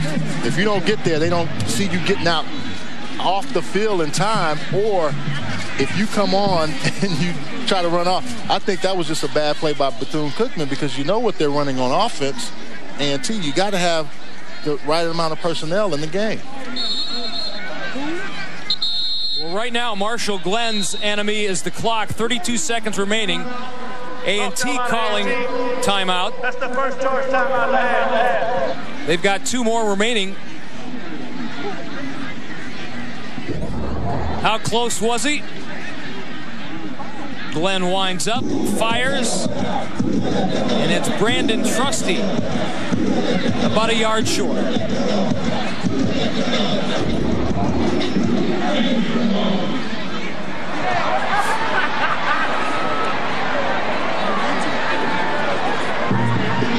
Yeah. I think it's going to be a situation where they have to punt the football. They want to go for it. Marshall Glenn is upset. He wants to go for the first down backed up way in your territory. And given the quick strike potential of the Bethune-Cookman offense and quarterback Jimmy Russell, you can understand why George Small is, is a little bit reluctant right now to gamble. Smart decision. I mean, you, you know, you just given up a touchdown. Uh, a short. It, it halftime. Halftime's just 32 seconds away. But you know what? It's senior night you're at home, final home game. I could see Yeah, why he I would make see- that, yeah. that choice. But Marshall Glenn wants to go for it. I don't blame him. However, that last drive, I think, was 95 yards, if I'm not mistaken. George Small, a, a North Carolina A&T alumnus, as we mentioned, a member of their Athletic Hall of Fame, graduated in 1979. Played in the National Football League for five years with the Giants and Broncos and Packers, Steelers. But I would go for it. All, all of that said, You're more of a riverboat gambler, I'd go you know. for it. In the short time I've known you, and we've become good, very good friends, that doesn't surprise me, Charlie. I'd go for it. That's why you're up here and he's down there. Exactly. Nice punt. Will it put a little backspin on it? He might have had it inside the five-yard line. It goes out of bounds. And uh, Bethune-Cookman, here's why they might have taken the shot, because Bethune-Cookman gets the ball back with Yeah. 24 seconds, which is like two minutes and 24 seconds the way they play offense. The only problem is Alvin Wyatt's team doesn't have any timeouts left. They've used them all. First downs will stop the clock, as you know, until everything resets. But that punt was like my golf game. You know, I was hoping to get a little backspin on that. I'm always in the water, Always- always, somewhere. I don't Rolling off the be- edge of the green, right? Yeah. Dominique Brown kicked it for 57 yards. If it was 56, it would have been perfect.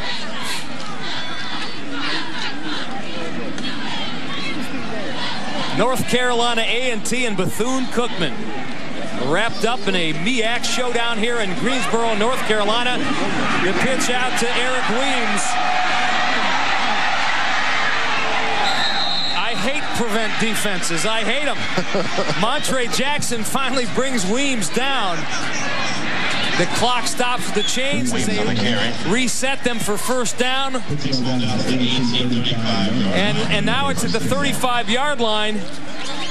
And George Small, who thought his team was going to go into the locker room with a six-point deficit, it may be more than that because Alvin Wyatt is rolling them dice.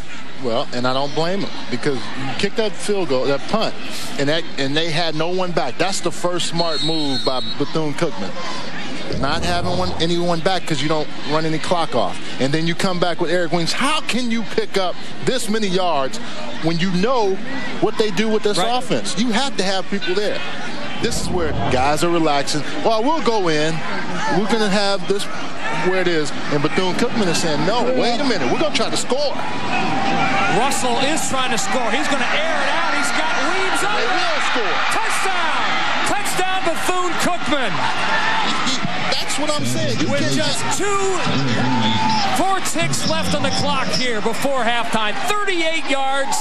Russell to Weems for the score. What did I say earlier? Take those, try those two yards. They had a 95-yard drive before. They come back 80 yards in 24 seconds. You cannot give up the play like that. You have to be as deep as the deepest man, and Eric Weems made him pay. Two huge plays. He is the A-back, the halfback, so to speak, in this Wyatt Bone offense, and he got behind Jawan McBride, number 30 from A&T. And so instead of going into the locker room down six, it looks like the Aggies, after the extra point, will go down 30 to 17 into the locker room. A 13-point deficit. And that does not bode well for A&T. 26 consecutive wins when scoring 30 or more points. Two plays. Yeah. Uh, Outside position, everybody locked up. The receivers are doing a great job blocking downfield. And you also have linemen getting downfield. Montre Jackson with the great hustle play. But this is a relaxed defense. I don't care. You can't you can't blame the coaches for calling a prevent defense because they didn't. Guys didn't make plays. Right. And that's why if you look back on this game and you lose it because you're an A- A&T fan or A&T team, that's what Hey, lost the game for We you. sat we sat in the locker room, A&T's locker room yesterday, and talking to Shamar Milton and Ricky Lewis, two of their top defenders. We asked Ricky and Shamar what's been the biggest problem this season. Season, he said, you know what? We look in the mirror, Yeah. and the enemy is us. We right we have there. made too many stupid mistakes. It's been all on us, basically, in the games that we've lost. It's about accountability and responsibility. And they weren't accountable to Alonzo Lee on that particular drive. Alonzo Lee, the defensive coordinator for A&T. You know that just just can't happen. With 22 seconds left on the clock, you got to come down with. It was all set up by A&T deciding to punt the ball, being conservative, and letting Bethune-Cookman do their thing with the Wyatt bone. Well, and all the excitement that was going just mm, 24 seconds ago, gone. You know, and as, as much as we've extolled the virtues of that man, Jimmy Russell, and he obviously is a tremendous talent, Eric Weems is another big yeah. play guy for Bethune-Cookman, a guy who came in here with, uh, he had a four touchdown night against Savannah State. Their leading rusher from a year ago. Great receiver, 25 receptions this year, two for touchdown. Now make that three. Weems, six carries and 59 yards tonight.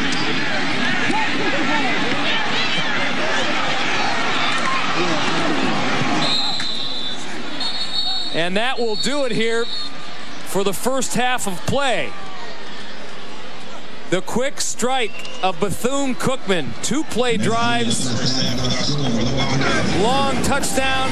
Eric Weems, Jimmy Russell doing it all for the Wildcats. As a result, Alvin Wyatt's team has a 30 to 17 lead here in Greensboro, North Carolina. We return you to the ESPNU studios in Mike Hall return. We'll get you back to second half action with Charles and Mike right after this.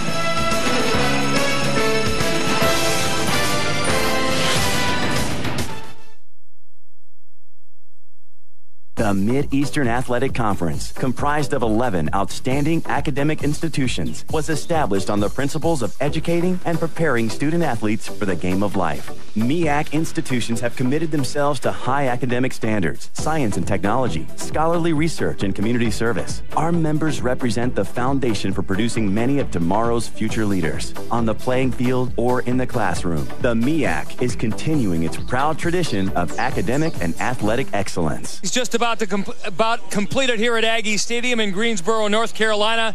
Bethune-Cookman with a 30-17 lead over North Carolina A&T. The Aggies with a new quarterback tonight, Marshall Glenn, looking good early on.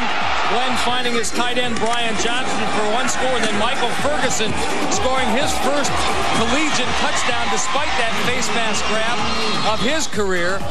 But Bethune-Cookman running the Wyatt bone, and Jimmy Russell, the quarterback, with quick reactions and speed, ripping off one touchdown run, carrying the football himself, and then the backbreaker in the first half, a three-play, 80-yard drive, the pitch and run by running back Eric Weems, and then after A&T decided not to go for it on fourth and two, this play.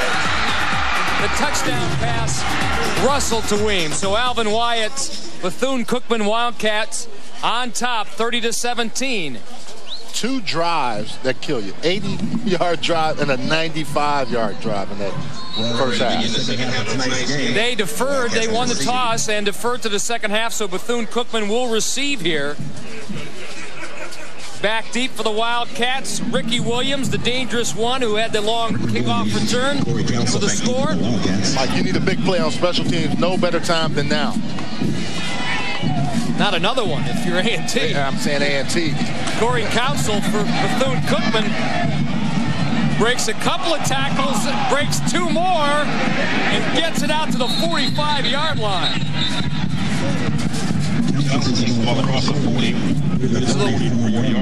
The Wildcats picking up where they left off at the half. Nice catch. Bobbled a little bit, but just good, powerful running inside once he gets hit. Look. And then guys not wrapping up. You no, come in and hit. Yeah, you're hitting guys. Finally, it finally took the kicker, Joseph Arroyo, to take him down. Both kickers, 81. Odd. Jesus Cortez. and Joseph Arroyo. What was my number? 81. Not a kicker, though. but you could if you needed to. Oh, yeah. They gave scholarships at UCLA for that.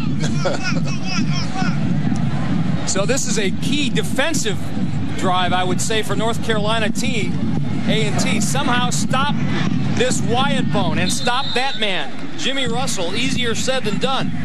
Well, the fullback was almost pulled around by Jimmy Russell Vince Wilson, watch number three inside. He's going to pull him around. He does a pirouette because Russell pulls the ball back so hard. That's a heck of a fake.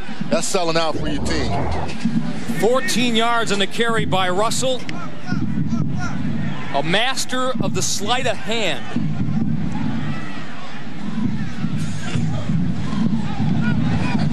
Boy, he is.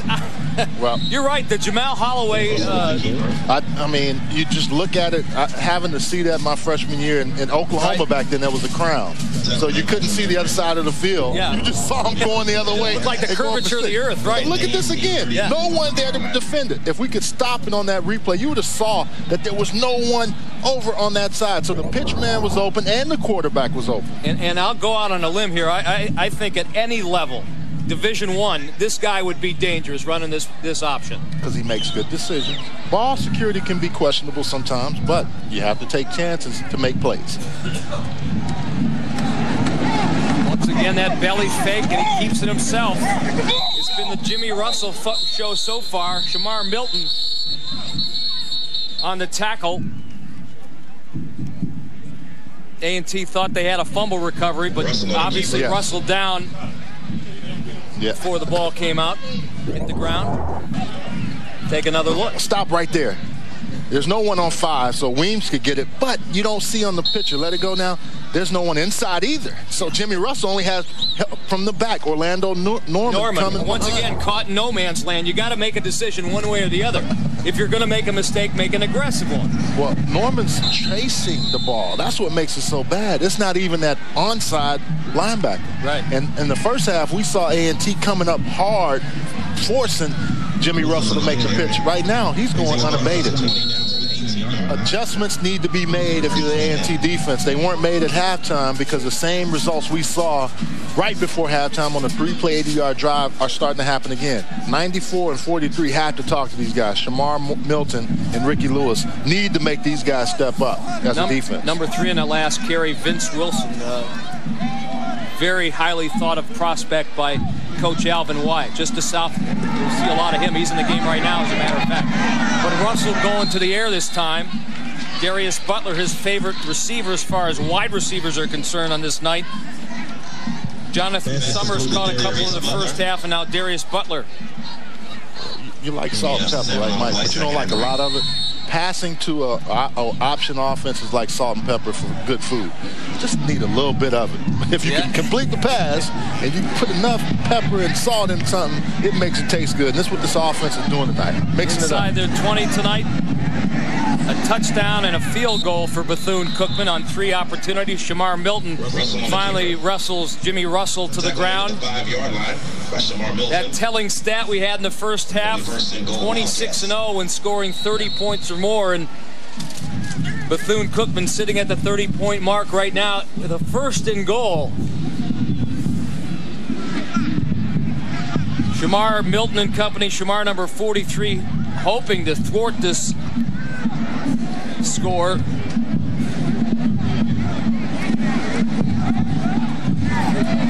Russell the pitch to Weems. Weems Just like that.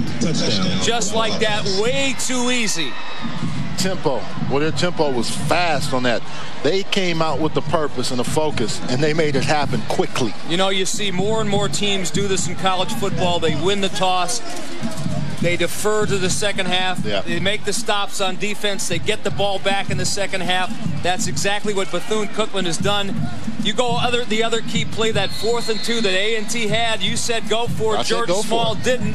The result, it's a 14-point swing. Well, their offense was playing as good as they have played in the last few weeks, and I thought that's where you can get that momentum back, get the crowd back into it, and just really get it going the way you want to. Wildcats 36, the Aggies 17. New kicker for Bethune-Cookman, Lucas Esquivel. He gets the extra point and a 20-point lead for the Bethune-Cookman Wildcats with a lot of football to go. 11.35 remaining here in the third quarter, but the flag on that last play. After the play, we have two dead ball personal fouls. Number 94, the kicking team. Number 64 of the defense. Those penalties offset.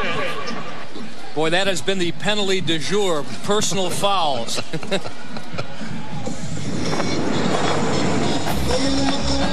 the Wyatt Bone. Nobody does it better than Jimmy Russell and Eric Weems. Back with more after this timeout. Bethune-Cookman with a 37-17 lead over North Carolina A&T, courtesy of this last drive. The running of quarterback Jimmy Russell. Bayou ability. He can get by you or he's a walk-in closet kind of guy or both, all the same. Making good decisions, but also running by the defense and making the proper reads. Now, he's going to handle the ball a lot. He has to make sure that he has security. This is a design pitch on the last play to Eric Weems. They've done so well with him moving inside, but when you get inside, you want quick tempo. They score. He's happy. Look at him, smiling. Guess what? Alvin Wyatt's got him around for two more years after this one, just a sophomore. They should be a force in the next couple of years in the MEAC, that's for sure. They lost 10 of their starters on defense a year ago, so they're trying to shore up that side of the football. But this offense is ready to compete for a title now, I think. They put themselves in a position with this offense. And what, I mean, what other coach in college football? All 11. he's, a, he's a throwback. Cool cat. He is a throwback. he's a cool cat. Yeah. This, eh, this is exactly how he dressed. When he come out of the locker room after playing for the Raiders, he dressed exactly like hey, that. And you couldn't even see him before the game. It was, it, I was, we were looking for him, and you know. Oh yeah, because he, he comes out at a special time. It's sort of a superstition Yeah, that Alvin I mean- Wyatt has. That's what he. That's what his assistant said anyway. I buy it. He was he was making the grand entrance, is what he was doing. Okay, A and T, crucial drive here. Marshall Glenn still at quarterback.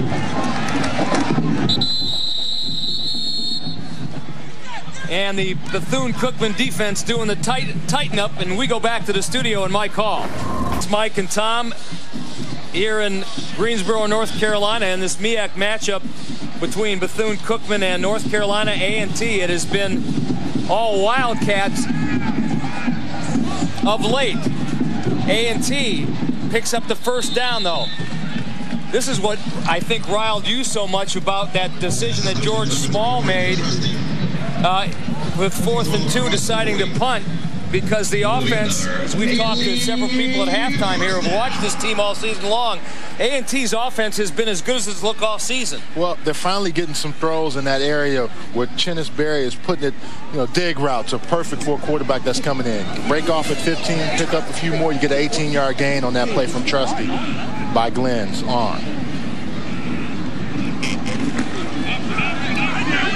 This time Marshall deciding to pitch the football to Sweeney. He's tackled behind the line of scrimmage.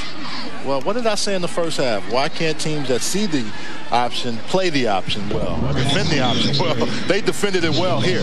If you stop here, way too quick. Look, you have three guys defending one guy, nobody to make a decision. You put no pressure on Torian Charles. He doesn't make the tackle initially, but he will come back and clean it up. But he's carrying out his assignment, and that's what's important. They got on. They got on him at halftime. There were adjustments made. Number 11 was one of them. Coach, we got to do a better job. Second down and 13. Marshall Glenn rolling to his right. He's got Brandon Trusty again. And close to a first down. Knocked out of bounds by Rodney Hughes, number 57. Marshall Glenn throws very well on the run. I've been impressed with his ability on those routes where you work outside, sprint out, sprint out, roll out type of routes. He gets the ball off well and is coming on a roll. He's one of the 22 seniors being honored tonight here in their last home football game at Aggie Stadium. It also gives you distance to to get closer. If you don't have a strong arm, this makes your arm strength go up even more because you get closer to the receiver as opposed to standing in a drop back position.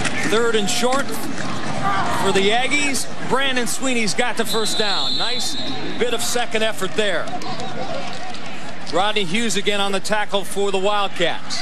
This, this is the best thing for A&T's defense. An offense that's picking up first down like this. Inside, good running, good hard, strong running. That's Rodney Hughes normally stops you in your tracks. But Brandon Sweeney kept it going the other way. I like those helmets, how they shine. Both teams, Bethune-Cookman and North Carolina A&T. Got a little glow, Yeah, glow not, on them. Not how you drive, it's how you arrive. You got to look good. Sometimes it's better to look, just as important to look good as it is to play good. And there goes Sweeney, who's looking good and playing good. Ball pop, pops out, but he hit the ground before that one. That play is dead, I think. I think. These officials are coming in. It doesn't look like it, Mike. We're gonna. This is very close. He hit the ground. The ball came out. Officials haven't made the signal yet. I don't think so. When they decision like that come up late, yeah, because when they come up like that, Let's watch it again. it's doubt. No one came up pointing down. Did Sweeney go down? Ball still. He still has possession. That Ball's went out. out. Is Yeah. out. Out. Good, Good call. Good call. Definite good call. Torian Charles, the man with the recovery, or Bobby Williams, number one, I should say. Torian arriving late to the scene.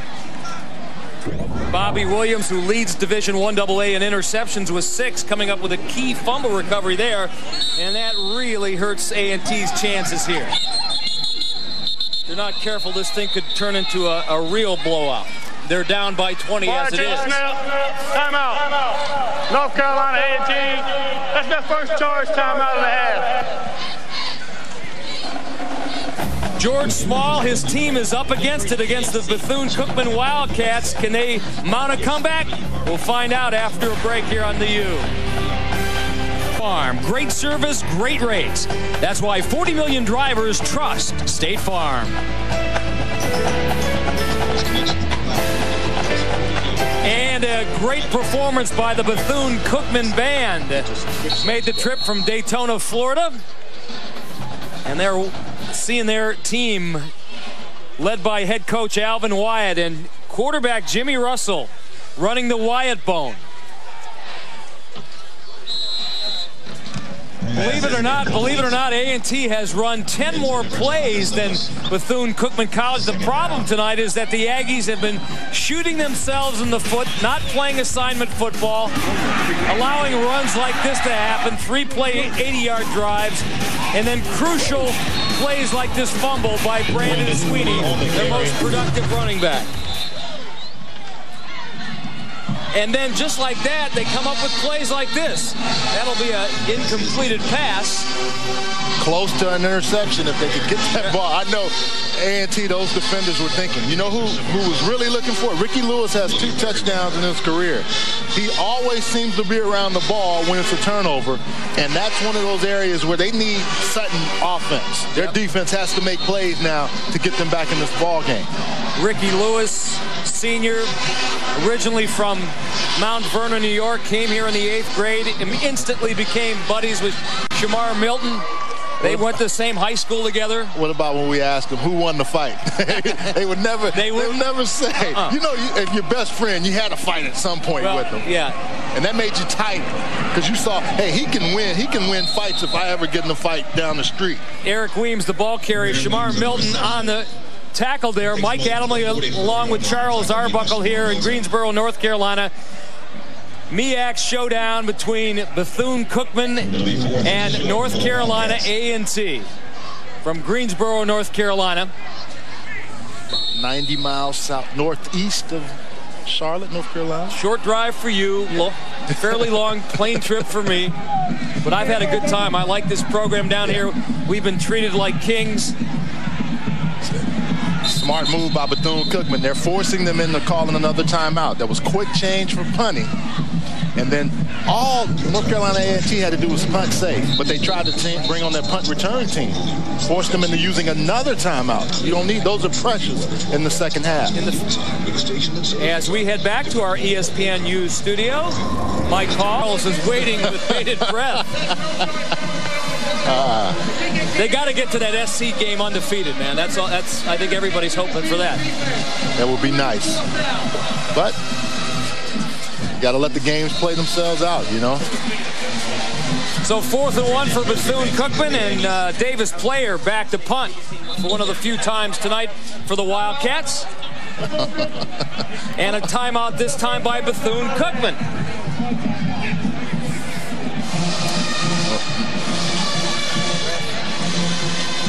Alvin Wyatt giving that leather jacket a workout tonight. His team leads by 20. Back after this. Every move I make, I keep on leaning on the Lord. And every move I make, I keep on leaning on the Lord. I keep on leaning, I keep on leaning. That is the North Carolina A&T Full Gospel Football Choir. That was Marshall Glenn, the quarterback, who was singing, and Alonzo Lee, the defensive coordinator for the Aggies, brought that here with him. Hey, man, I had my hand raised, and now they're Oh, going yeah. for it on fourth, fourth down. That was all those timeouts that they did. They made sure. And and boy, that's like rubbing salt into the wound. George Small didn't go for go for it on fourth and two right before the half. Bethune Cookman made him pay. Alvin Wyatt made him pay again right there. It made A&T waste the time out here when they could use it at some point later in this half. Boy, if their defense could, could play as well as that gospel choir can sing. They form, perform all the time. Wow. That last play. Russell is just pulling Vince Wilson back. And the fake is so good that you don't know where the ball's going. Unbelievable. Watch, watch the fake when you see this. Stop right there. You see, everybody's going that way if you have blue jerseys. Keep it going. Now it opens that hole up. It's a natural thing, and he's pulling Vince Wilson around so fast that the defenders don't even know. And at just 5'9", Jimmy Russell barreling over Wilfred Billingsley. And that time he puts the ball on the ground. Weems fortunate to pick it up, but it was a forward lateral. Uh, well, it, it really, he gets hit, and the ball comes out, so do they call that an uh, incomplete Complete pass? Yes. Watch when he stops, when, if we see this replay, see what the official's going to Yeah, call. it doesn't matter if you throw it underhanded, It's still a pass. still a pass. He's Yeah, watch it. He's yep. throws it down in Yep. front. Yep. Good, good move by Jimmy Russell again, though. If he throws that ball back, it's That was Lawrence, Lawrence McLeod in the game, who was who quickly left the game and replaced by Russell. he still made a good decision. Yeah, it could have been disastrous. Had it been behind him, it would have been a, a lateral.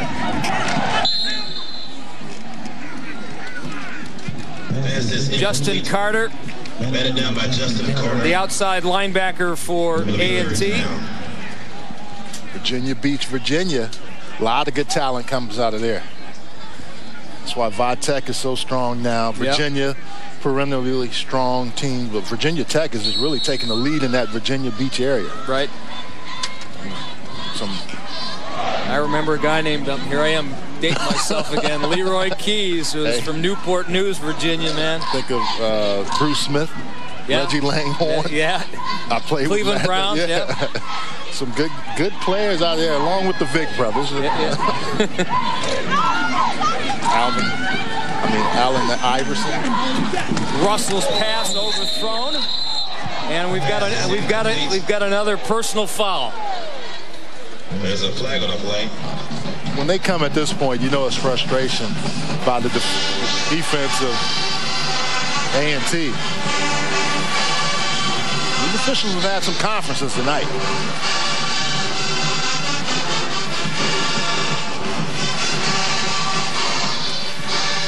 Theron Thomas in the middle of that for North Carolina A&T. He wants to know, did I do something wrong? Well, and we didn't talk about it much, but the Dudley High connection, Yeah. take that away good. That's a good call. You know, you still got to make, yeah, let him make a play. The ball's uncatchable. Flag is waved off. Darren Thomas, Ricky Lewis, and Shamar Milton, starters on this defense, all from Dudley High School, right here in Greensboro, North Carolina. Got a little pipeline of players coming from there. Yeah. You know, they don't have the budgets that right the Division One, One A schools have, and Drive to it. Yeah, they come around this program, grew up around this program. Darren Thomas since he was four years old. And they're not without success. North Carolina A&T, that's for sure. They won the MEAC championship just just two years ago, but they're in transition right now. That's for sure. They'll take over at their own 14-yard line. You can see George Small's record, his first year on the job. He won the MEAC championship dropped to 3 and 8 a year ago, which was disappointing for everyone. And so far, 2005, despite the bright prospects that Yeah. tonight had, Well, three and three and five just isn't cutting it either. Well, Mike, and he made some good points when we talked. He didn't complain about not No, being didn't. able to recruit. But think about it. North Carolina, North Carolina State, Duke, Wake Forest, um, Winston-Salem State. For a state this size, they have a lot of universities here to compete for talent. So you can see transfers coming in. But when you don't have a good budget, I mean, I can name more if you want me to, but Right. there's a lot of schools right in this area that you compete for talent with. Now, Bethune-Cookman, on the other hand, oh, Florida. Is Florida a good recruiting area? I know I'm from Texas. I don't know about Well, you know- I, I don't, I don't really know. I, I, I'll say this about you can take second stringers in Florida high schools. Oh, yeah. They get But- they get picked up by a lot of. Um, they're on everybody's radar. But think about it a few years back, as early as the 70s. That's not that far ago, long ago. the other the other the other problem. Florida State, Florida, Right. Miami, they weren't good then. Yeah, oh, and the other problem was is that back in the early 70s, schools like those schools in Alabama and Georgia and LSU Didn't recruit. Didn't recruit. That's They right. didn't. Well, they recruited, but they didn't recruit African American kids. That's Nope. why the HBCUs were so strong and have come back. Think of it, Florida A&M. Think of Grambling State. All those Sure. kids that couldn't go to school there in the 60s, as early as, as close as the early 70s, went to schools where their parents went to school. Bethune Cookman, MEAC champions back in 1984 and 1988, also 02. That one was under Alvin Wyatt. Began their football odyssey back in 1925, a storied program, and now it is Division One AA. Moved to that division and back in 1980. The great Larry Little from the Miami Dolphins in the National Football League Hall of Fame was a coach here at Bethune-Cookman. Wide open, Brian Trusty overthrown. Larry Summers had a chance for a pick, dropped the football. He is the only returning defensive starter for Bethune-Cookman. Had four INTs last year. Also, one on this season for a touchdown. Could have had another pick. Just dropped that. Short it. You know, George Small, he said he, if he could ask the fans one thing, it would be patience. Have a little patience. Well, something we all know about college football fans, whether you're an alum at the University of Michigan or an alum here at North Carolina A&T, patience is not part of their their, No. their MO. No, no, it's not. It's a thin line between love and hate. That's the that's the relationship between fans and coaches, as well as the starting quarterback a lot of times. Marshall just had nobody to throw to that time. Marshall Glenn swarmed under by a host of tacklers. Andre Johnson, backup defensive end. Andre Johnson. He's in the game now. And Mike, we talk about recruiting bases. That's why Hampton is so strong. When you're in that area, in that Virginia area, DC, there's a lot of talent right there. So you, I mean, FAMU is down now, but you know at some point they're going to come back again strong. A&T, as strong as they've been, they also have recruits that are now trying to get in. There's a lot of yellow on my board. That normally means freshmen, and they have a lot of them playing significant time. And that's why we've seen the number of transfers you were talking about earlier. You recruit a guy maybe once, twice, three times. You know, you chart his progress. If they're not happy, if they're not doing well at a Division One school, stay on them. Well, and, and you think about it, on your 2D boards, you normally see one or two on this offense sprinkled in in the 2D depth chart. The one, two, three, four, five significant players. Not all starters. Koya Daly. And that just goes to show you what you are up against. On defense, four more. So when you have a lot of young players playing, you need patience, but the fans don't always see that. So a three and out for A&T, and Bethune-Cookman will get the football again with terrific field position. Just exactly what North Carolina A&T doesn't need right now. There's a flag on the play. But a flag on the play.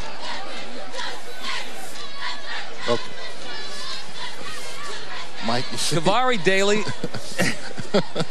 What are you doing out there, young man? I think coach was saying, okay, now let me help me understand this.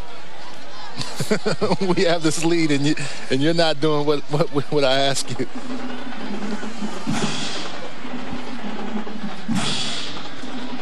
A lot of penalties tonight.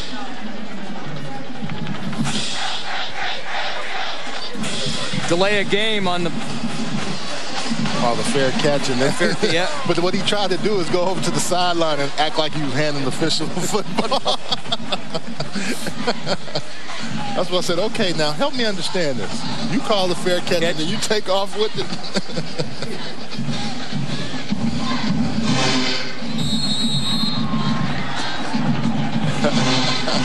Coyle Daly, the man who called for the fair catch.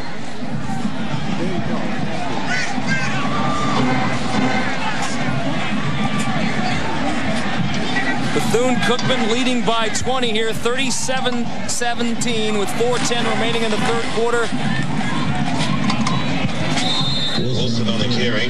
Lawrence McLeod back in at quarterback.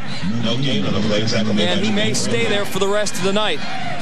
Shamar Milton. Good defense right there against Wilson. One of the few times we've seen that dive back taken away right away, swallowed up by about three, defend, three or four defenders for North Carolina A&T.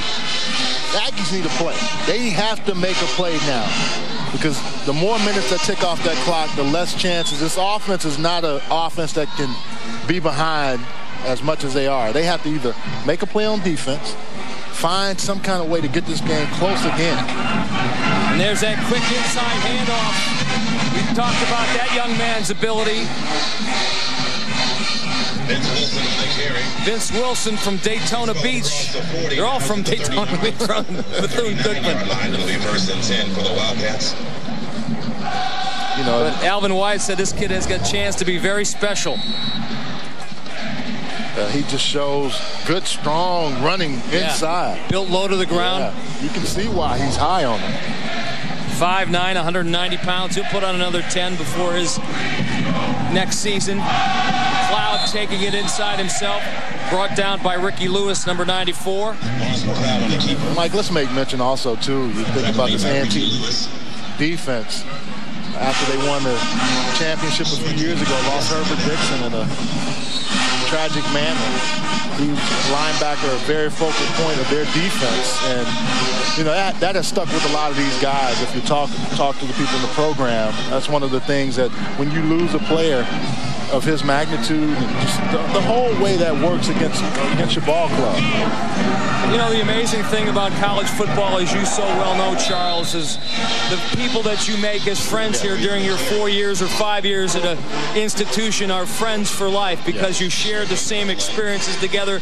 You grew up together, and whether your team was nine and three and a champion or three and nine and an all-surrounding conference play, you'll remember these guys for the rest of your life, and you'll stay friends with most of them for the rest of your life. What do you miss most about once you leave the game? It's the camaraderie, your teammates, the things you, just the crazy jostling that you do on the elevator when you're going up or going down the mills and just the just the things that you remember about certain guys. It never leaves you. Shamar Milton, for example, the uh, outstanding inside linebacker for North Carolina A&T. This December, he's going to get a business degree. In business management. He'll probably be a big-time uh, entrepreneur down here in North Carolina, but he'll be friends with all these guys for the rest of his life. Well, the problem is right now, the business of stopping Jimmy Russell is not going well for this A&T defense. And you can look ahead, but right now, this defense has had opportunities to make plays, and now that you have Lawrence McLeod in the game and Eric Weems is still there, Richard Woodbury, there's a whole host of people that are making plays for this Bethune-Cookman offense. How about that for some razzle-dazzle? Jonathan Summers, somebody got laid out, and a flag down on the play. Johnny Woo. Santiago had a great block. Uh, on Wilfred Billingsley. you could hear, he, hey.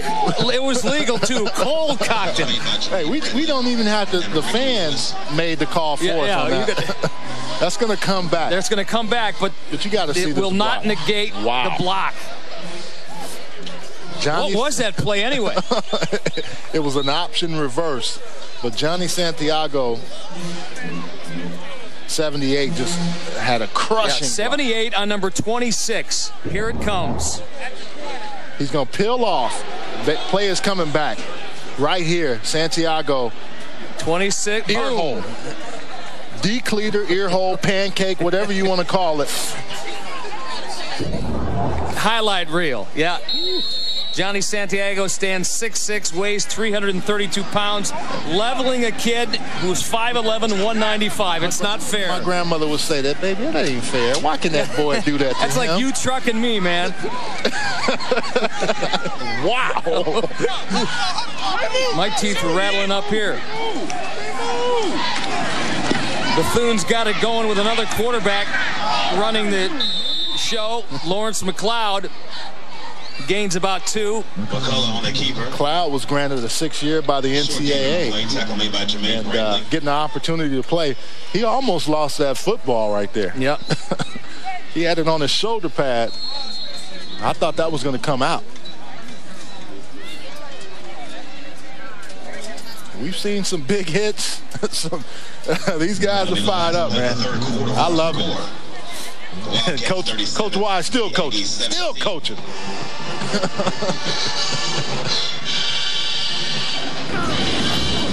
Big night for the Bethune-Cookman Wildcats. They have a 37-17 lead here in the third quarter of play from Greensboro, North Carolina. That's the end of the third. Back with the fourth after this. You better especially the UCLA game before my friend here goes oh, nuts. Oh, that's not true. You just asked about Northwestern. Well, that's okay. It's good I mean, to know. It's good to know, though. Yeah, it is good to know. I was just thinking, what's the score there? Yeah. Last time I checked, Michigan was up by 10.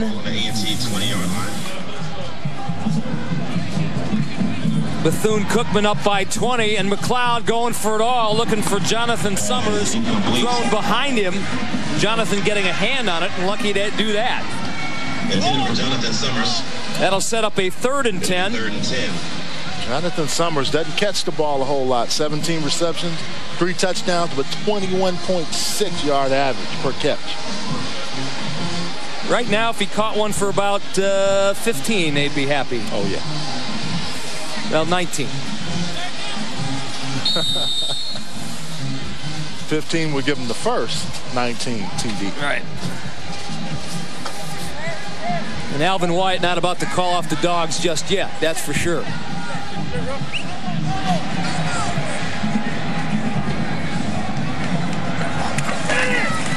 McLeod keeping the ball. Might have been a better decision to pitch it out to Eric Weems, number five, who's got the speed.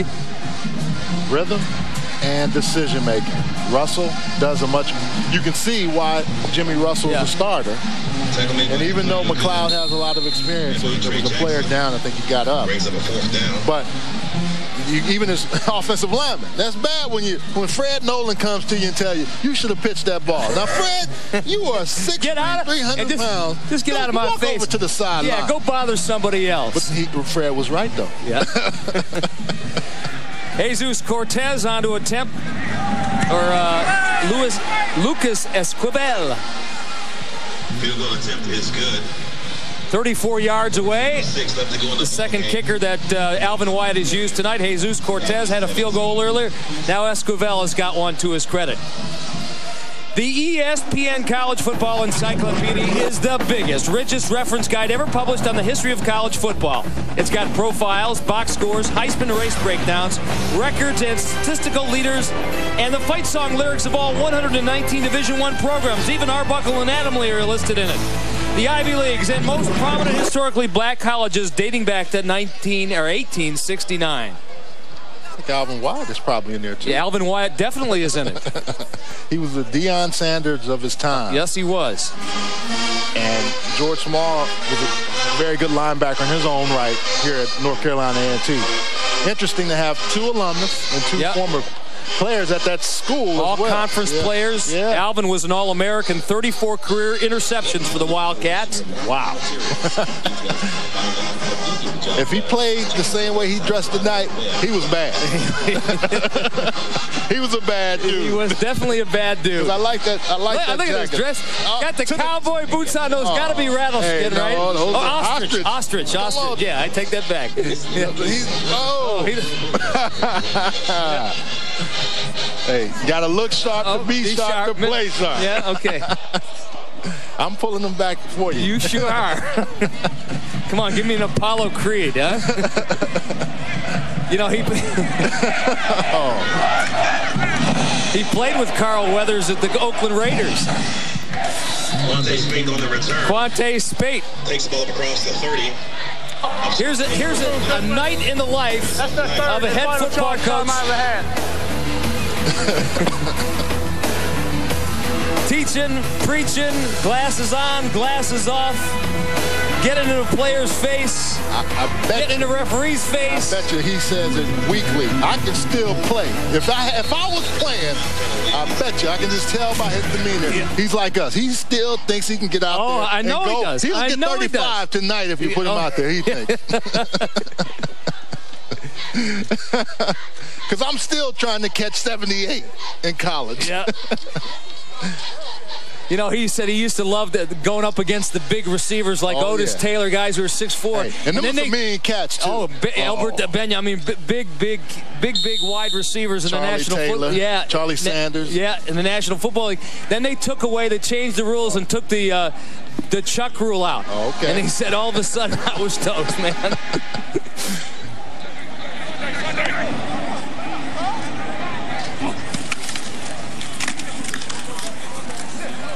Marshall Glenn still checking it for AT and A&T.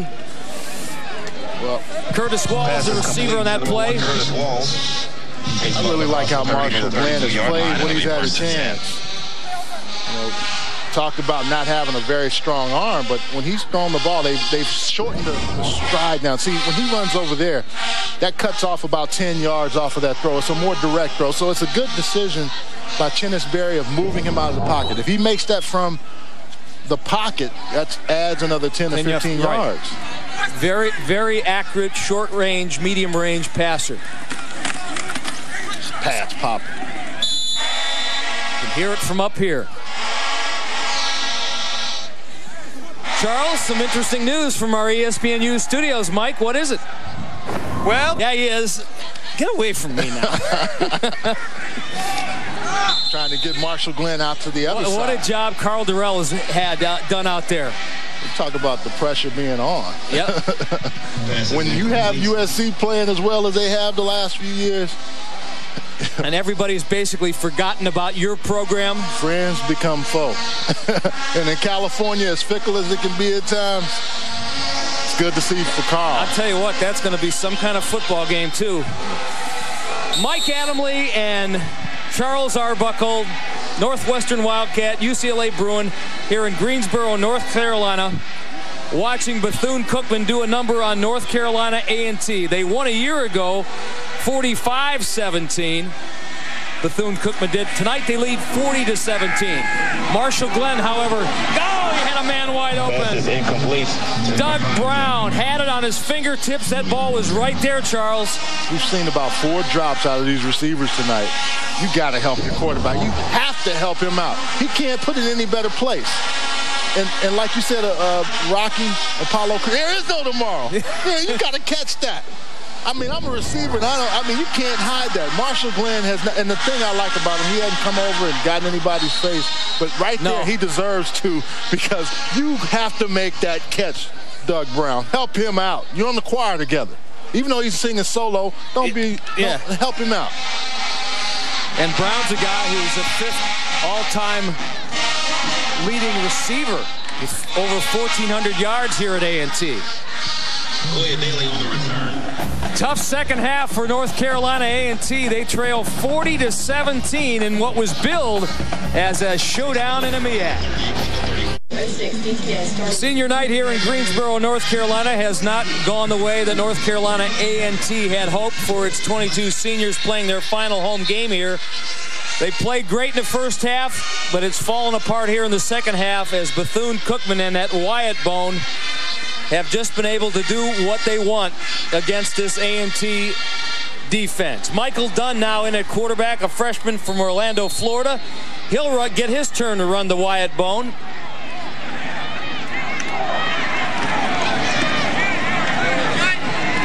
And showing off some similar skills to Jimmy Russell. that cutback run is devastating, has been devastating tonight for Bethune. Larry Harrison on the tackle. You have another guy coming in. You get a chance to see Larry Harrison with a nice stop. Defensive lineman getting down the field, stopping a first down. Even though it's second and one.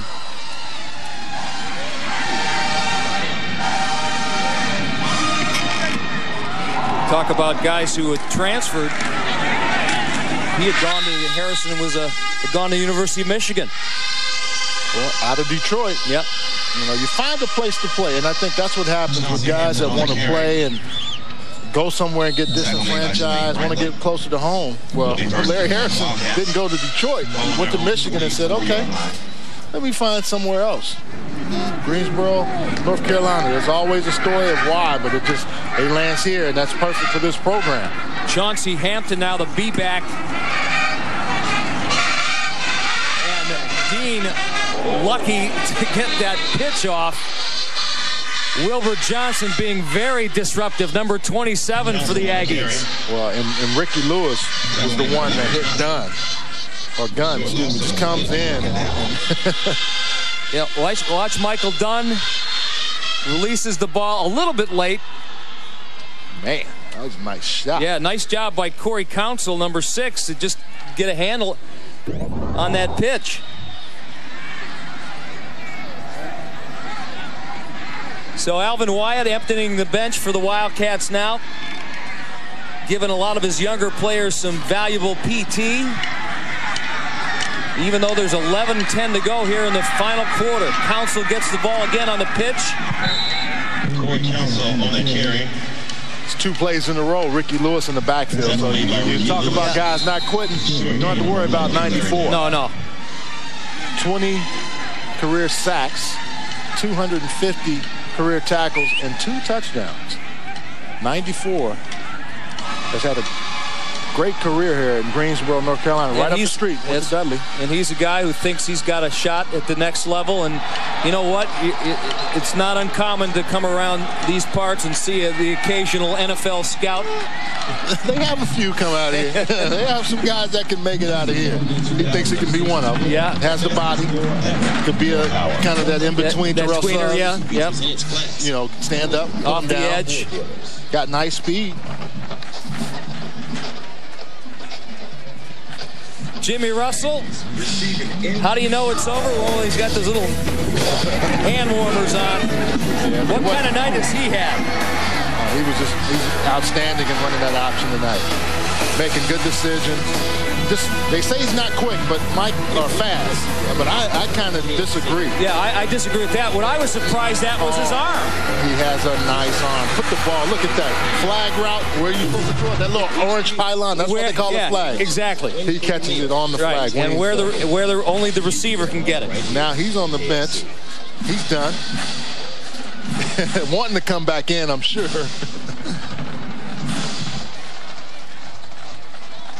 Between these two schools, they currently have seven players in the National Football League right now. Scouts will find you. They'll, go, yep. they'll find you. Nick Collins was a second draft choice for uh, Bethune-Cookman by the Green Bay Packers this year. 2003, Rashean Mathis, defensive back, drafted in the second round by the Jaguars. Big play there, Dean to number 85. I got to dig deep for this one. Joshua King. Oops. Paul Newfield. Oh, Paul Newfield. Number 85 backs up Jonathan Summers, a junior from Miami, Florida. Dean Rowland. Newfield breaks the tackle and does the rest. Michael Dunn with a nice throw down the field. and that's a good broken tackle. Wilfred bringing Billingsley finally knocking him out of bounds at about the five, four yard line. First and goal, Wildcats. And look, Lawrence McLeod now back in the game. The pitch to Woodbury. Just outside the pylon. Oh, they're they're signaling touchdown. Woodbury made that touchdown. You know how he made he created some space, almost like a point guard or shooting guard when they step inside and back out over the three-point uh -huh. line. That little dip inside, if we see it set on it replay, up. set it, yeah. set it up perfect. All it takes a little shoulder yeah. drop. Bam. And, and that's going to freeze the defender just enough. Either you can run over him or you can run by him. Touchdown, Cookman. That was a nice play by Woodbury getting outside. Esquivel on to attempt the extra point. The second, second kicker that Alvin Wyatt has used tonight. Jesus Cortez being the other. It's up and it's good. One attempt is good. 10 minutes, 31 seconds left to go. The pass by Michael Dean that set up the last Bethune-Cookman touchdown. 47-17. Still a lot of football remains. Check us out!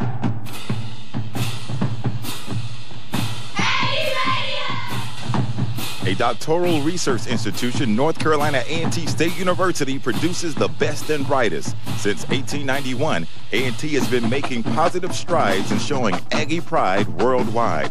Now under the helm of Chancellor James C. Renick. Explore. Discover. Become. Check us out! Referencing in the score, 47 to 17. The blue and gold marching machine hasn't given up. They're still tearing it up in the stands. On senior night here at North Carolina A&T, and quite a night for that man, Bethune-Cookman head coach Alvin Wyatt.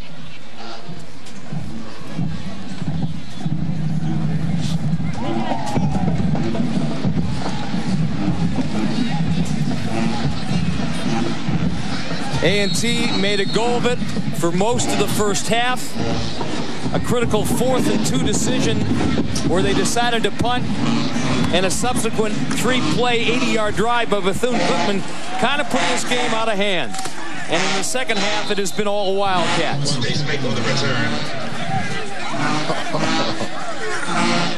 Quante Spate, the man on the return there for A&T.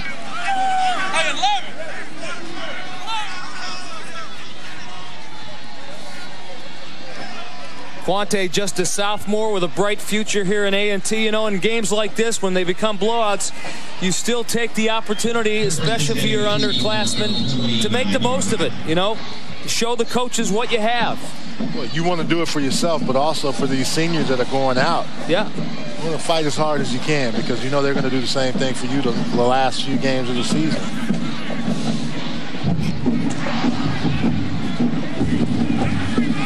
Marshall Glenn still in at quarterback for, for the uh, Aggies. Mike, I think that was the one thing we talked about too when we got all of those guys together. Marshall Glenn, Ricky, Ricky Lewis, Shamar Milton. Uh, you know, one of the things is, and Brandon Sweeney, how have you kept these guys together? Because most of them are senior leaders. And it's tough when you're losing. People start pointing the finger. As much as you remember the good on teams, you also remember bad. And it doesn't seem like they've let that get out of hand. It doesn't seem like George Small has allowed them to kind of come, become disengaged with what they're doing, the process. Yeah, you know what? And it's it's probably been pretty tough because as sophomores they won the MEAC championship and they've gone downhill from there. And, and not to leave on a high note is, is got to hurt. Pass is incomplete. Glenn's pass intended for Doug Brown misses the mark. One of the few times he's missed the mark tonight. Marshall Glenn has really, despite the score, has turned in a, a, a, a valiant effort for the Aggies. No question about it. Out of Charlotte, North Carolina, East Mecklenburg High School talking to a lot of the, the uh, radio regulars here at halftime, and they said this is as good as our team has played offensively, not in just the last couple of weeks, but all season long. And he's playing like a quarterback should, relax, doing the things, taking what the defense is giving him. You know, has respectable numbers there with one touchdown to Brian Johnson. So he, I, he's handled it. He's done well. Even though he's not the guy, he's played very well tonight. Yeah. And it really hasn't been so much A&T's offense as the defense not being able to handle the Wyatt bone. And it should be probably 17 out of 23 as opposed to 13. Yeah, he's had four drop balls. Brandon Trusty, his most trusted wide receiver, has had a couple of drops. Doug Brown has a, had a drop. Doesn't help you when you have your receivers dropping the rock. Brown, as a matter of fact, was uh, was wide open, and that one yeah. looked like he had six. Oh, for a touchdown, yeah. So another putting situation, fourth and five. Dominic Brown. Leg getting a workout tonight.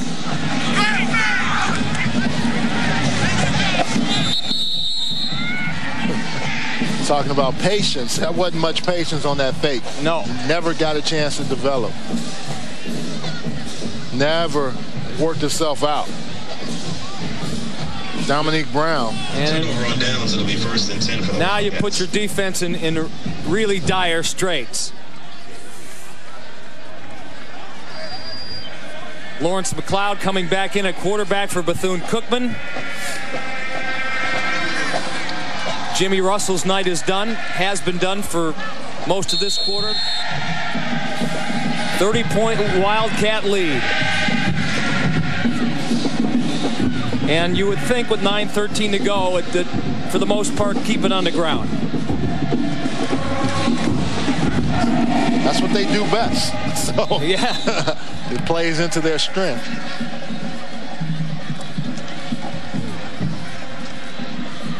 One of the most lopsided, if not the most lopsided score in uh, Bethune-Cookman history was the number that A&T laid on them back in 1996, 73 to 7. It has rankled uh, Alvin Wyatt, who was the coach back then, ever since. It is why th these two schools have become not bitter rivals, but cer certainly acrimonious rivals. but I don't think Alvin's the kind of guy that's going to run up the score here do what you do. Run the football, run out the clock. Run the pitch, run the Wyatt Bone. Give McLeod some playing time. He's a senior. And you give other people other people chances to play. Some of your younger folks that you know you want to take a look at. You want to get comfortable with game situation because I don't care how much you do in practice, it never equates to the game. The big thing too is is to give their next opponent Mighty Hampton something to think about. They've got a murderer's row. Alvin Wyatt calls it their last three games. Hampton, Howard, and Florida A&M. That last game was on uh, against FAMU was uh, on ESPNU. But the Hampton against the number three Division One AA team in the country. McLeod on the keeper. No, undefeated in MEAC play as well. Obviously.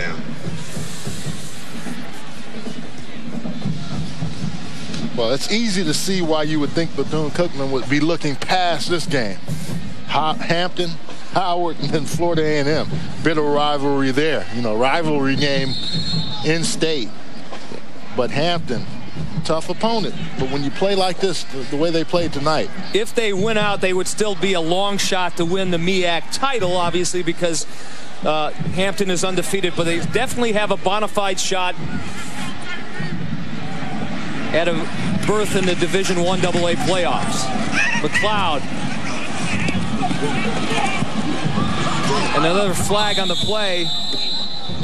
So Mike, the Corey thing, Council, the ball carrier. The thing we didn't talk about also, too, is that these offensive linemen do a very good job of cut blocking, but the receivers downfield, they create those other spaces for you because they make sure that they get the defensive lineman down. It's going to come back. But this offensive line, you can't say enough about what they do. They don't get a lot of credit. We no. talk about Jimmy Russell, but Johnny Santiago, you saw him earlier, Fred Nolan. Vernon Edwards. Vernon Edwards. Riando Lee, Terrence Massey. You know, and you talked about the wide receivers being blocking downfield. That's an integral part of this Wyatt bone. They're, they're required to do that. And Barry Wagner, who's a great Arena Football League player. He, he helps with the wide receivers at Bethune-Cookman. He says that what I try to teach these kids the most is is to always make sure you're doing something when you don't have the football. And Barry would know because in the Arena Football League, as you well know, both sides. You're Iron Man. He plays defensive back and he's an offensive guy, so he can tell them what he's telling them, and he's actually doing it right now. They can see him in arena football ball games practicing what he preaches. Yeah, one of the greatest players ever, if not the greatest player ever in arena football history. Spent some time with him in Indianapolis as a he was a young guy coming in, played, and it was good for him at that level, but he also had a chance to be a, a, great star in the AFL. And that was a young guy who just scored sophomore Justin Brannon from Jacksonville, Florida. And the points just keep on piling up for Bethune-Cookman. Everybody getting into the act. Davis player, number 38, there to hold for Lucas Esquivel.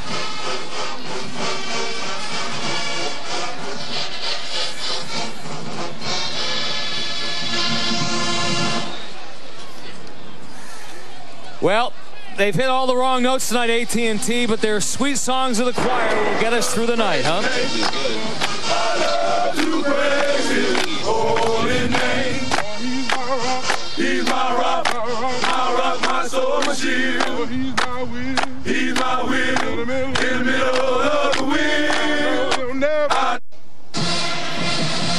The Bethune-Cookman Marching Band giving a little, little na na na na na na. I tell you what, uh, the football game has left a little bit something to be desired here, especially in the second quarter. But the uh, hospitality here in Greensboro, North Carolina, couldn't be any better. Brian Holloway, the SID for North Carolina A&T, and Brian Harvey, his counterpart for Bethune-Cookman, have given us more than enough statistics to fill the rest of this telecast. That's for sure. They've been so helpful all week long. Also, like to thank our statistician Eric Moore, our North Carolina A&T spotter Tyler Ball. Man, he's dying a thousand deaths up here. He, plus, he doesn't have a jacket and it's getting colder. I, I think we're, we're, sub we're sub 45 degrees now. That's for sure. Can you? You I can, yeah, you can see your breath. And we still have 6:01 left to go.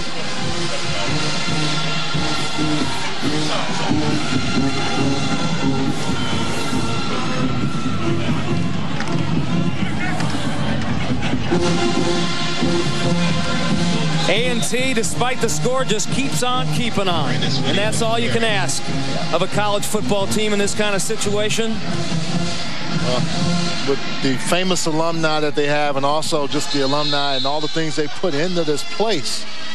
And, and the list is long of, of, people that have come through the A&T system. There's a player down. The Bethune-Cookman. Yeah fans are restless and they don't want to see this kind of situation. They don't want to see a team, uh, a, a, tradition that they've had here for so long go to waste. And I think that's what they're feeling as, as a fan base. Yep. Eric English, the injured Wildcat on the play, being helped off the field. They've been playing football for over 80 years here. Notable alumni, how about Jesse Jackson? And Dr. Ronald McNair, who is uh, perished in the Space Shuttle Challenger tra tragedy. Alvin Attles, NBA player and coach, also VP of the Golden State Warriors not forget Elvin Bethea inducted into the Pro yeah. Football Hall of Fame in 2003. You know him well from his days with the Oilers and growing Love up in Houston, blue. man. Love, Love you blue. blue. Yeah. Houston Oilers. Houston Oilers. And we won't we won't start with that. Not after hearing the gospel choir. I'll, I'll, never, I'll never get to sing again on television no. after listening to I them. Will, I will stop. I will stop.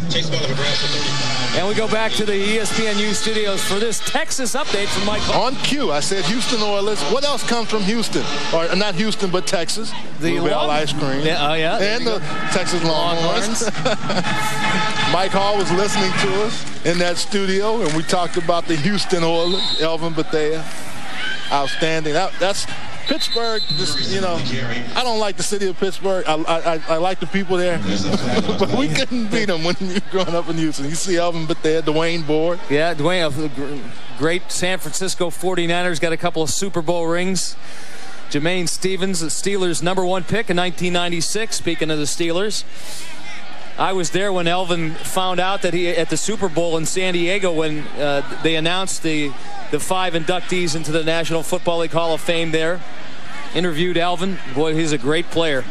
That's a a, a, a small list of people. HOF alumni. Yeah. Hall of Fame. That's what you play this game for whether it's college or pro. Alvin Wyatt used to coach for uh, Bethune Cookman All-American Hall of NFL Hall of Famer Larry Little, and he's got the coffee. So you got a mocha or a latte? What do you think? I just think it's plain coffee or hot chocolate. But with that outfit, with outfit he's though, not gonna get it on there. I guarantee you. He's not gonna spill it on that outfit or no, those shoes. No, no, no, no, no, no. We were wondering what kind of car he drives. Uh-oh. That could have been one where he may have spilled.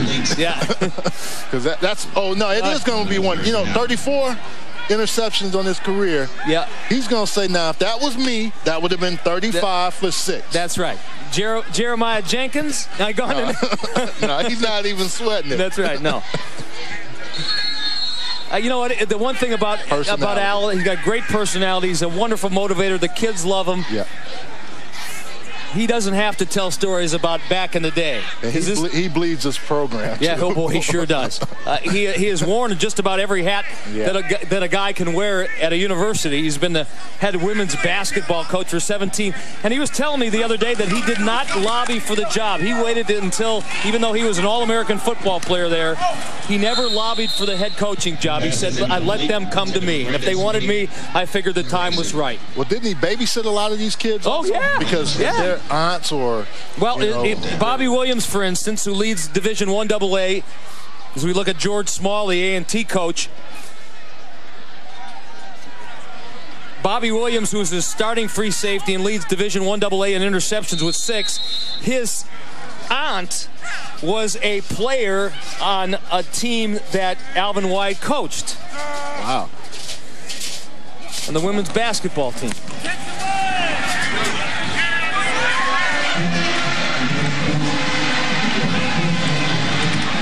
One of the reasons, if you can see why, good talent, but also a lot of kids from Daytona Beach. That's right. Like that Coila Daly from Sunrise, Florida. Number 89, he just kept on going. He's a transfer too. Started his college career at Purdue. You know, a lot of, you know, the, the home sweet home, there's something to be said yeah. for that phrase. You go far away to a Big Ten school in the Midwest, it gets cold in the wintertime. You know, yeah. you, you forget how nice Florida was. you're right. And if you're second or third team and it doesn't look like you're going to get off much high, go up much higher in the depth charts because of coaching or whatever or talent, you know, coming back to a place like uh, Bethune Cookman yeah. or North Carolina A&T to get an opportunity is exactly right take it. Devin Bradley, number 17, or that's 37 now, and with the, the ball carrier, Brannon.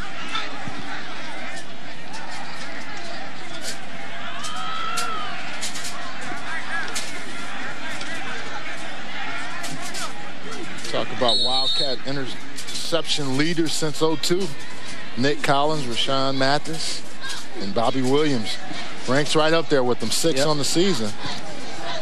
Wants to be along with those guys at that proverbial next level. Yep, from everything I've heard from, he's definitely draftable guy. Devin Bradley on a high draft choice. Takes the ball across the 40. Devin Bradley taking the ball across the 40-yard line.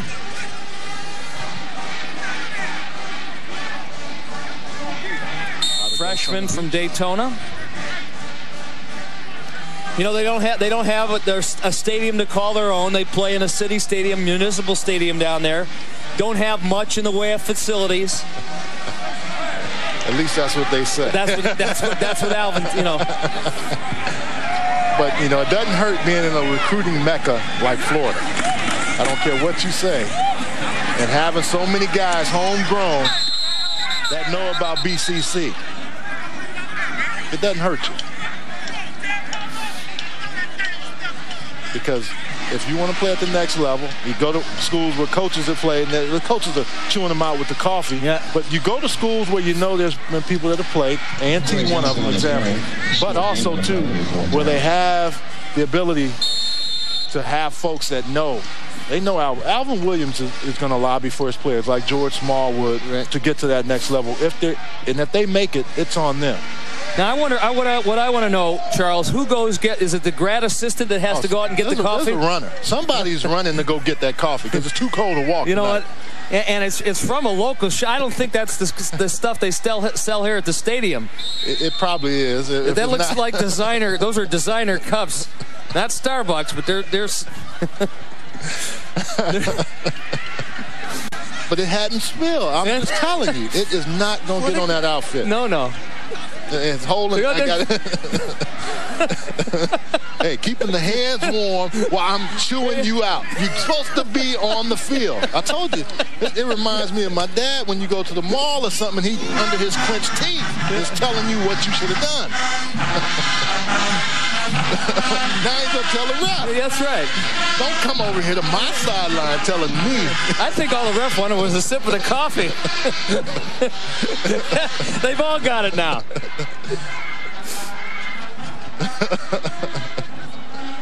Oh man. You know, you know what? How about how about getting this thing over with? It's there's one minute and 32 seconds and to go. That, that classic after I, I chewed somebody out laugh. you, saw, you, you saw that? Now, I don't know if you saw that. He just had that. Uh-huh. Look, yeah. Oh man. Hey, we had a good game though in that. Up until that time with that three-play, 80-yard drive, just fourth and two. I mean, I go back to this ball game, and fourth and two to me is what what should be written in the papers. It's going to be what's said on this campus, Right. and that's why this team is celebrating, and one team isn't. Maybe it, it would have stayed. It would have still been a, a a lopsided game, but you just never know. I think with that offense moving the way it was, the running game working for them in the first half, fourth and two, you have nothing to lose. Senior night, try that play because you don't want to give them the ball. The field is short with them wherever it is. Right. Well, Bethune Cookman will run their overall record to six and two after tonight's victory. They'll be three and two in conference play, and look out for next week because they host Hampton, number three in Division One AA in the country. And the Wyatt Bone will need to be operating on all cylinders, and Jimmy Russell will have to bring his double A game, his A plus game, if they're going to have a shot. Well, fortunately for them, they have it at home. Home stadium holds about 10,000, so they will be screaming mad down in, at that home stadium there. You look on the other side, North Carolina A&T with FAMU and then South Carolina State. You see the standings here.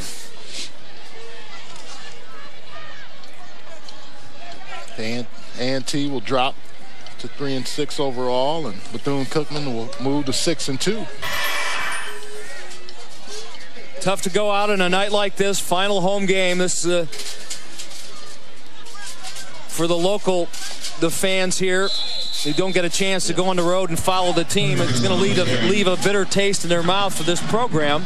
Well, but for all the alumni, though, this is an opportunity to showcase a, a, a great institution with Yeah. a lot of notable alumni. But also, too, I don't always know if t- TV does it justice, but the things that they've done here as improvement for this school to help them not not only recruit, but to get back into the MEAC race, so to speak. I mean, Hampton and Bethune-Cookman, you can see slowly creeping up there with, with their ability, but A&T is not a school without tradition either. You know, we said this a couple of weeks ago covering the Jackson State Alabama State game. The one thing that impressed me most about the MEAC and the SWAC conference is not just the caliber of play. We've known that's been good for a long time, but the caliber of coaching. Oh, yeah. George Small and that man Alvin Wyatt do great jobs. Great jobs. They're as they're as innovative, especially Alvin Wyatt, and as bright and as intelligent.